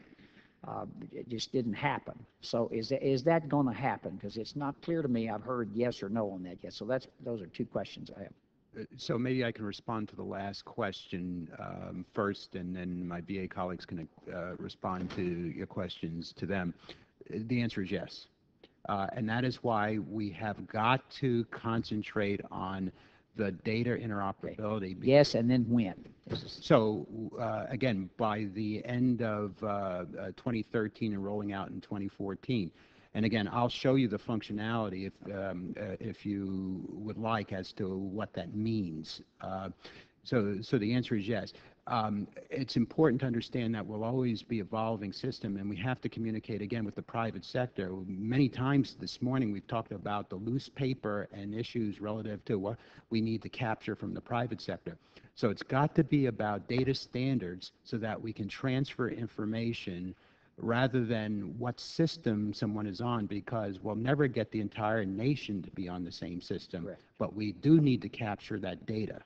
One last thing, Mr. Chairman, uh, just, and I'll yield my time back, is one of the things the VA is doing, I think is very good, is the video conferencing for VA, uh, for veterans who want to appeal. We did our first one in the district the other day, so that, that a disabled veteran doesn't have to go to Nashville and then drive to, to Washington DC. You can video conference that, and that, that will save tons of money, make it much easier. So I want to commend you on doing that and encourage you to continue to do that. I yield back. Ms. Mr. Chairman, Kirkpatrick if I- and Mr. Kilmer. Thank you, Mr. Chairman. Uh, My question to the panel has to do with immediate mental health treatment. 22 veterans commit suicide every day. Uh, Every time a new patient goes to the VA, they have to go through the enrollment and eligibility process, which includes a physical exam. Oftentimes, this, this physical exam takes two months or more to set up, and this includes patients who need immediate uh, mental health treatment. My VA caseworker uh, is, is contacting hospitals directly to schedule these emergency physicals for these veterans who need immediate treatment. Uh, I know the Department of Defense does a quick evaluation uh, before discharge, but there's no direct handoff of that evaluation to the VA. So my question is, how can the VA and the Department of Defense work together? What kind of system has to be put in place as, as soon as possible to make sure that these veterans get their immediate mental health treatment? Let me, uh, uh, Congressman, Congressman Kirkpatrick, let me just address the, uh, the emergency part of this. If someone has an urgent or emergent medic, uh, mental health condition, they will be seen immediately. They don't have to have a physical, they don't have to have anything else. They will be seen and evaluated for that mental health condition. And um, if it should uh, transpire that they need to be admitted, et cetera, they can be admitted. The rest of the work in terms of determining eligibility, et cetera, will occur. Um, I would, s- I'd, I'd like to talk personally with you about these specific cases. If there's something less than urgent or emergent, then yes, there is a, a step process that one uh, goes through, but it can be done in a pretty expeditious way. Let's follow up because, because I- evidently it's not help, happening and, and it- and it- it may be the criteria that's used for what is an emergency. So I we would can, delighted to talk with you about it. uh, response for the Department of Defense, please. Uh, Yes, uh, I think previously in uh, testimony, both Dr. Petzel and I talked about um, integrated mental health strategy, warm handoff, case managers that handle um, service members with identified mental health problems that need immediate and follow-up care. So I think over uh, the last couple of years, we've really enhanced uh, greatly identifying individuals who have uh, particular mental health problems that need to be seen right away, making sure that they get to those appointments. Doctor, let me ask, with that evaluation that's done right before discharge, is there any way to make a quick handoff to the VA of that information and the results Ab- of that? Absolutely. We we do that. We That's, be- transfer- that is being done? Yeah, and we transfer it- those, okay. those, those I yield back. Thank you for the courtesy, Mr. Chairman. Mr. Kilmer and then Mr. Nugent. Thank you, Mr. Chairman. My question's for Dr. Petzel and Mr. Pummill. Uh, Obviously, admirably, many employers have shown leadership in hiring uh, those who've served, but I want to raise a concern that I've heard over the years from service members reintegrating into civilian life. um, who've reported that their military or veteran status has uh, occasionally been used against them in the pursuit of employment or in the pursuit of housing. Um, with employers or landlords raising uh, concerns ranging from fears that someone would potentially get redeployed or uh, in uh, some cases, uh, folks raising concerns about things like post- post-traumatic stress. In my state, I worked with a coalition of of veterans groups and a bipartisan group to try to address uh, this and expand non-discrimination protections in our state. I was hoping you could briefly tell us if you're aware of this type of discrimination uh, against veterans and returning service members. Uh, Congressman, I, I've, I've heard that kind of stuff anecdotally, but I, but I can't relate a specific incident. Um, I, I- do know that there was a, uh, um, a, a, a, a bill being pushed forward about, uh, um, anti-discrimination against veterans. And from a VA perspective, um, we are advocates of veterans. Um, we're very supportive of any efforts in that area. We haven't had a chance to study the bill yet. I haven't actually seen it. But because of the subject matter uh, discretion, uh, uh, discrimination, it'd probably be a uh, Office of Personnel Management and Department of Justice would have to uh, be giving the opinions on that. But um, from a VA perspective, we support it. Thank you. Um, I would, uh, Congressman, just make a comment. Um, the VA has developed a, an educational package for employers that we use often at uh, the employee forums that we have uh, around hiring veterans um, that uh, tend to uh, debunk, if you will, the myths about veteran employees around mental health issues as well as the rest of, of the issues that might arise, as you say, um, because of someone's veteran status. We're trying, working very hard to have employees understand that these are excellent employees. They're very well trained, they're disciplined, they're used to working hard, and they're bright, and they can contribute tremendously to uh, a workplace. Thank you. I, I certainly agree with you, and I, I'm I'm hopeful we can have more comprehensive protections. We'll be getting a copy of that bill to you. Uh, Senator Blumenthal and I are working on a bill together, and we'll get it, get that to you. Thank you. Mr. Nugent, then Ms. Duckworth. Thank you, Mr. Chairman, and I want to thank this panel for your service to our- our country and what you do for our veterans. And being a father of three veterans currently serving, I do appreciate it.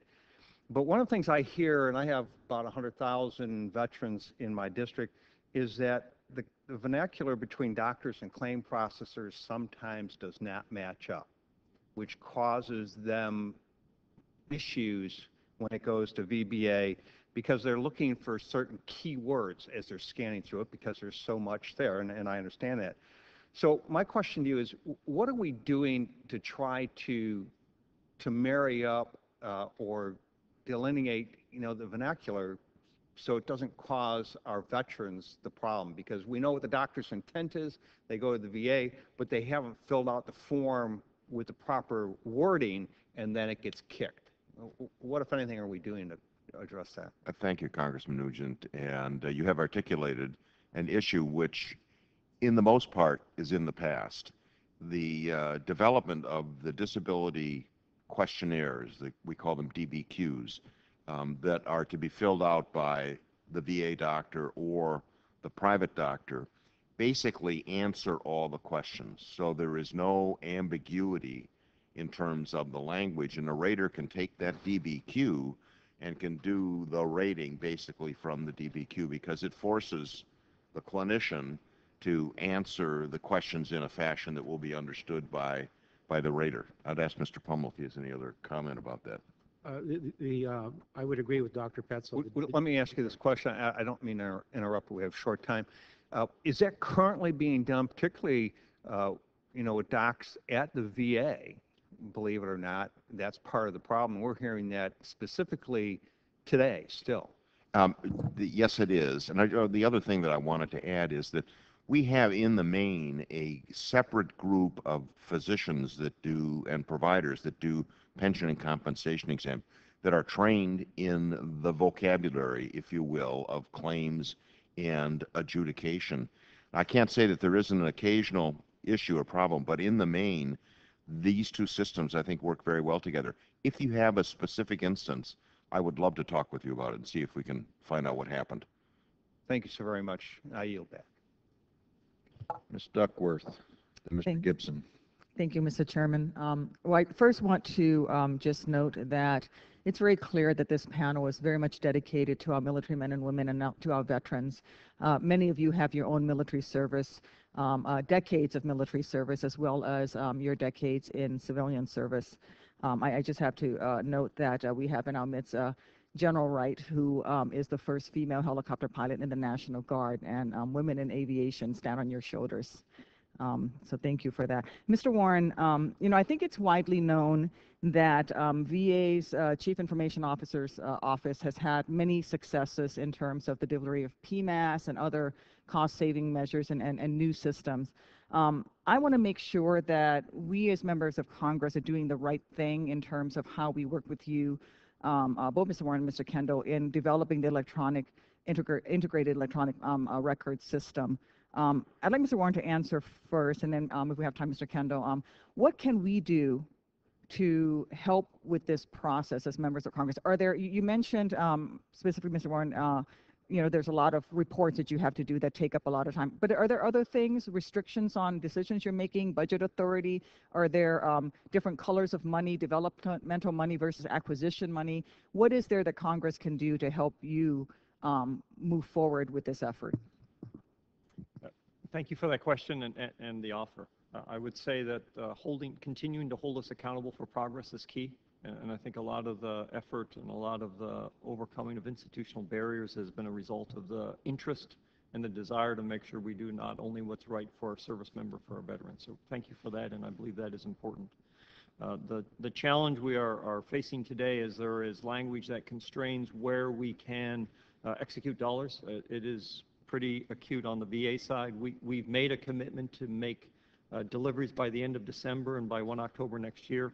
Uh, th- Those are at risk uh, because of some of the constraints on us with respect to execution. There's an ask for plans. Those are in process to be delivered up to the appropriate committee staff for their review. Uh, And any help that we could get on making sure those get cleared so we can continue to make that critical progress would be greatly appreciated, ma'am. Can you provide that information to my office in writing at a later time? Glad to, ma'am. Thank you. Mr. Kendall, just, Yeah, if I may, Mr. Chairman, uh, what I would ask fundamentally is you not over-constrain us. So I'm very concerned, as I mentioned in my opening statement, about some of the language in, in uh, various bills right now.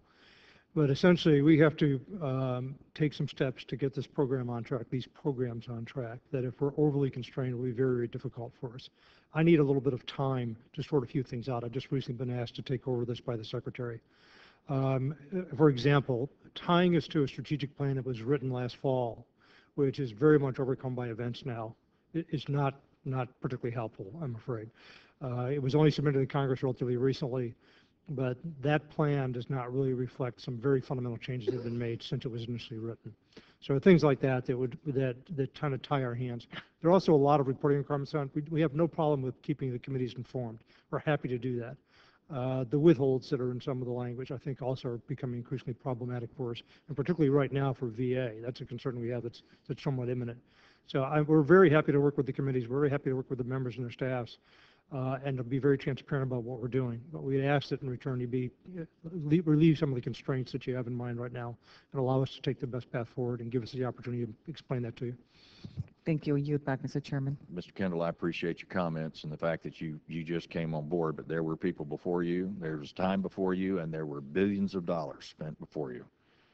Mr. Gibson, then Mr. Johnson. Thanks, Mr. Chairman. Uh, Appreciate very much your leadership, and I've I've found this uh, hearing uh, very helpful this morning. Thank you to the panelists for your leadership and your commitment. Um, The single integrated uh, healthcare record, something that we're all endeavoring towards. Uh, I'm the author of a bipartisan bicameral bill uh, to hold us uh, towards that end, uh, towards Mr. Warren's comment uh, just moments ago. Um, And, I- you know, my question may have been answered, uh, but uh, I want to just offer it again uh, to see if um, there might be further uh, clarification. Uh, It has to do with uh, Mr. Kendall's opening remarks where he alluded to onerous language. And I just heard uh, uh, a listing. And I also heard Mr. Woodson uh, earlier, he mentioned that would have been helpful if the language included clinical input. I appreciate those remarks. And so I guess I'll ask Mr. Kendall, is there anything else that you want to highlight when you were talking about onerous language, because we're trying to strike a balance here between, you know, not getting in the way of somebody trying to get to where we all think we need to go, and at the same time, what Mr. Warren said, that we've got to hold everyone accountable because the American people are expecting it, and of course they should. Um, so, uh, Mr. Kendall. Thank you, Congressman. It's a good question. I'd, I'd like to take it for the record in order to give you a more detailed answer. Um, we've been reviewing the language. I'm a lawyer. I respect lawyers more than most people, perhaps. I'd like to have our lawyers have a chance to take a look at it because there's some language in there that isn't quite clear to us what the intent is or what it really does to us. So we, I'd like to give you a response for the record that just kind of lays out specifically what it is that we might have a problem with, if that's all right with you. Well, I, I do appreciate, it, and of course that would be fine. Uh, I just want you to understand that part of the reason why um, we're concerned is because we think we're all moving towards that same objective, and then we get these comments that, well, we're, it, it appeared to us like we're taking a step back. Now we've gotten some further context about that, but what we really want to do is just make sure we all get up on the objective uh, because we know we need to get there. So thank you. I look forward to receiving that for the record. And with that, I yield back, Mr. Chairman. Mr. Johnson, then Mr. Wittman. Thank you, Mr. Chairman, and thank you all for your service to the nation. Uh, Mrs. Petzel and uh, Pummill. I'd like to ask, um, are you aware with the, of the situation in Atlanta where three mental health patients uh, were um, uh, ended up uh, dead uh, and uh, poor record keeping and poor management has been cited as one of the reasons for that? Yes, sir, I am aware. And um, are you aware of the allegation, and it may be a fact, that a former top administrator at the Atlanta VA Medical Center received uh, performance bonuses over a four-year span as internal audits revealed lengthy wait times for uh, mental health care and mismanagement that led to the deaths. I am not specifically aware of the track record or the award record for senior managers there, but I certainly can find out. Mm-hmm. How about you, Mr. Uh, Pummill? Um, no, Congressman. I, I wouldn't be involved in the Veterans Health Administration. I work over at the Veterans Benefits Administration. Okay. Uh, well, Mr. Uh, uh, Dr. Petzel, do do top administrators at the VA still receive uh, bonuses? Congressman Johnson, yes. Uh, some of the uh, top administrators in uh, in the VHA, which is what I can speak for, do receive bonuses. Been dramatically reduced. We call them awards, not bonuses. They've been dramatically reduced by uh, almost, I believe, 50 percent over the last three years. But yes, there are some people who do receive awards. And those awards would be based on what? On their performance. They have, all senior executives have a performance contract, and the awards have to be based upon the performance in relationship to their performance contract. And who or what entity determines who gets the uh, awards? Well, the recommendation for an award, sir, is made by the supervisor of the individual, and that then works its way up through the administration. It would pass, in the case of the Veterans Health Administration, through me up to uh, the department level, and eventually all the awards are signed off on at the department level. I see. And um, so approximately how many awards have been granted for the um, 2013 fiscal year?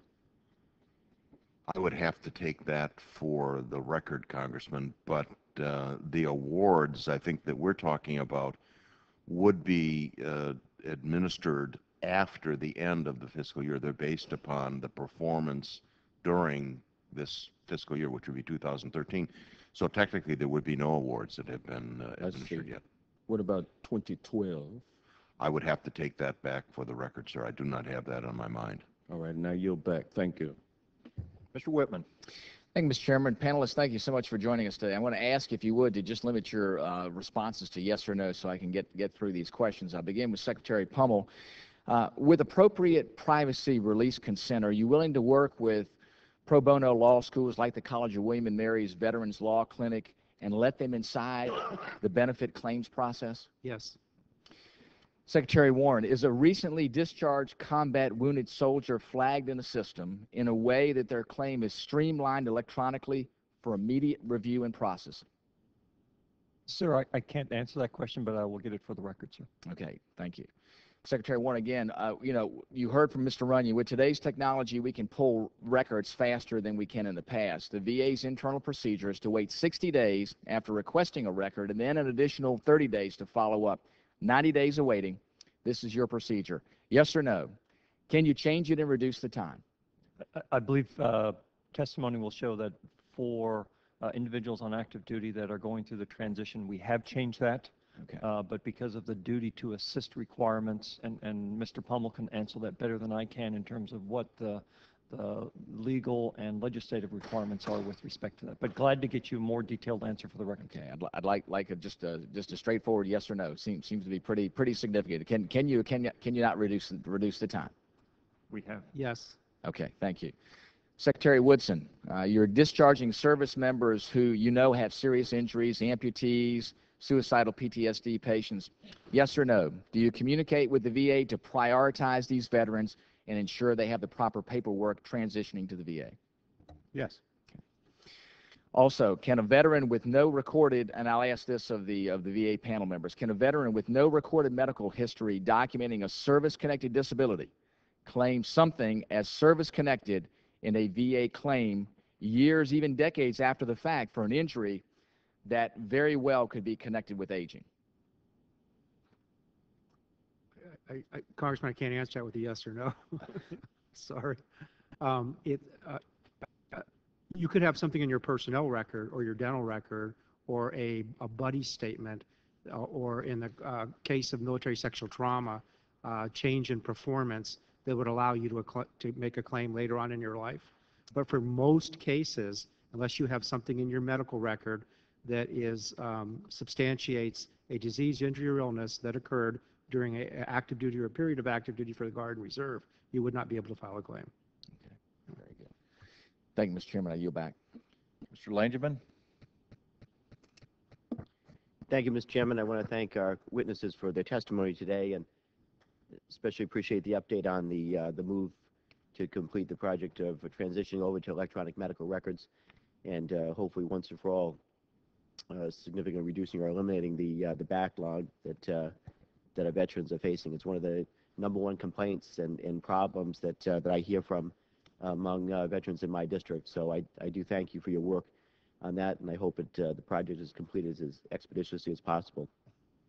Um, the obviously the issues that are under discussion today are, are of course critical importance uh, and uh, interest to all of us, and we certainly appreciate our witnesses sharing their expertise with us today. I want to focus on uh, uh, the, the path uh, through the DoD and VA system for veterans suffering from neurological traumas such as TBI and spinal cord injury.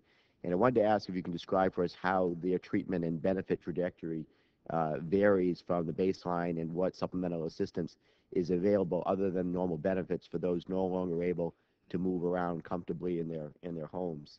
Um, uh, and uh, let me say that uh, in response to unmet needs that veterans organizations throughout uh, that have brought to my attention, um, I've introduced uh, what's called the Veterans Home Buyer Accessibility Act last Congress to aid uh, our injured service members modify their homes to uh, ensure that they're accessible, and I certainly plan to introduce it again in this Congress. Has there been an examination of benefit shortfalls specific to neurological traumas, particularly with regard uh, to adaptive modifications to homes? So if you could take both of those questions. Uh, Congressman, I can, I can uh, begin.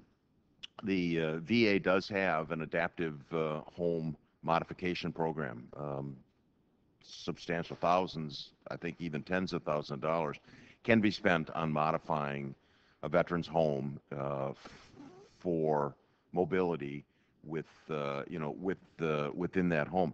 I am not aware of the fact that there are restrictions or shortfalls in uh, the benefit, and I would certainly like to work with you directly to find out exactly what those shortfalls are. We're, we're not aware of them. And I would ask Mr. Pummill if he has any other uh, comments, because VBA does administer some of those programs. Uh, No, Congressman, I, I'm not aware either, but what I will do is, um, I'll get with our veteran service organizations, our partners out there. There are eyes and ears in America, provide us good information on veterans and, and see what they have to say and what they can provide back to us. A- a- And, just like to add too, that, you know, as we're making progress on, on the, the backlog because of the assistance we're getting from DOD, uh, it's, it's trifold. It's, it's VB, it's VA, it's DOD, and it's the veteran service organizations helping us get DBQs, fully developed claims, talking to veterans, doing the things that we need to do. So it, it- they, they help us a lot, and I'll see what they can provide me. That would be very helpful. I appreciate that. Thank you. I yield back. Thank you very much, Mr. Langevin. Uh, Thank you to the witnesses for being with us for a little over two hours. We certainly appreciate that. I thank all the members uh, that were here today to ask some very pertinent questions. Uh, I would ask unanimous consent that all members would have five legislative days with which to revise and extend uh, their remarks and add any extraneous material uh, subject to the uh, hearing topic today. And without objection, so ordered. And with that, this hearing is adjourned.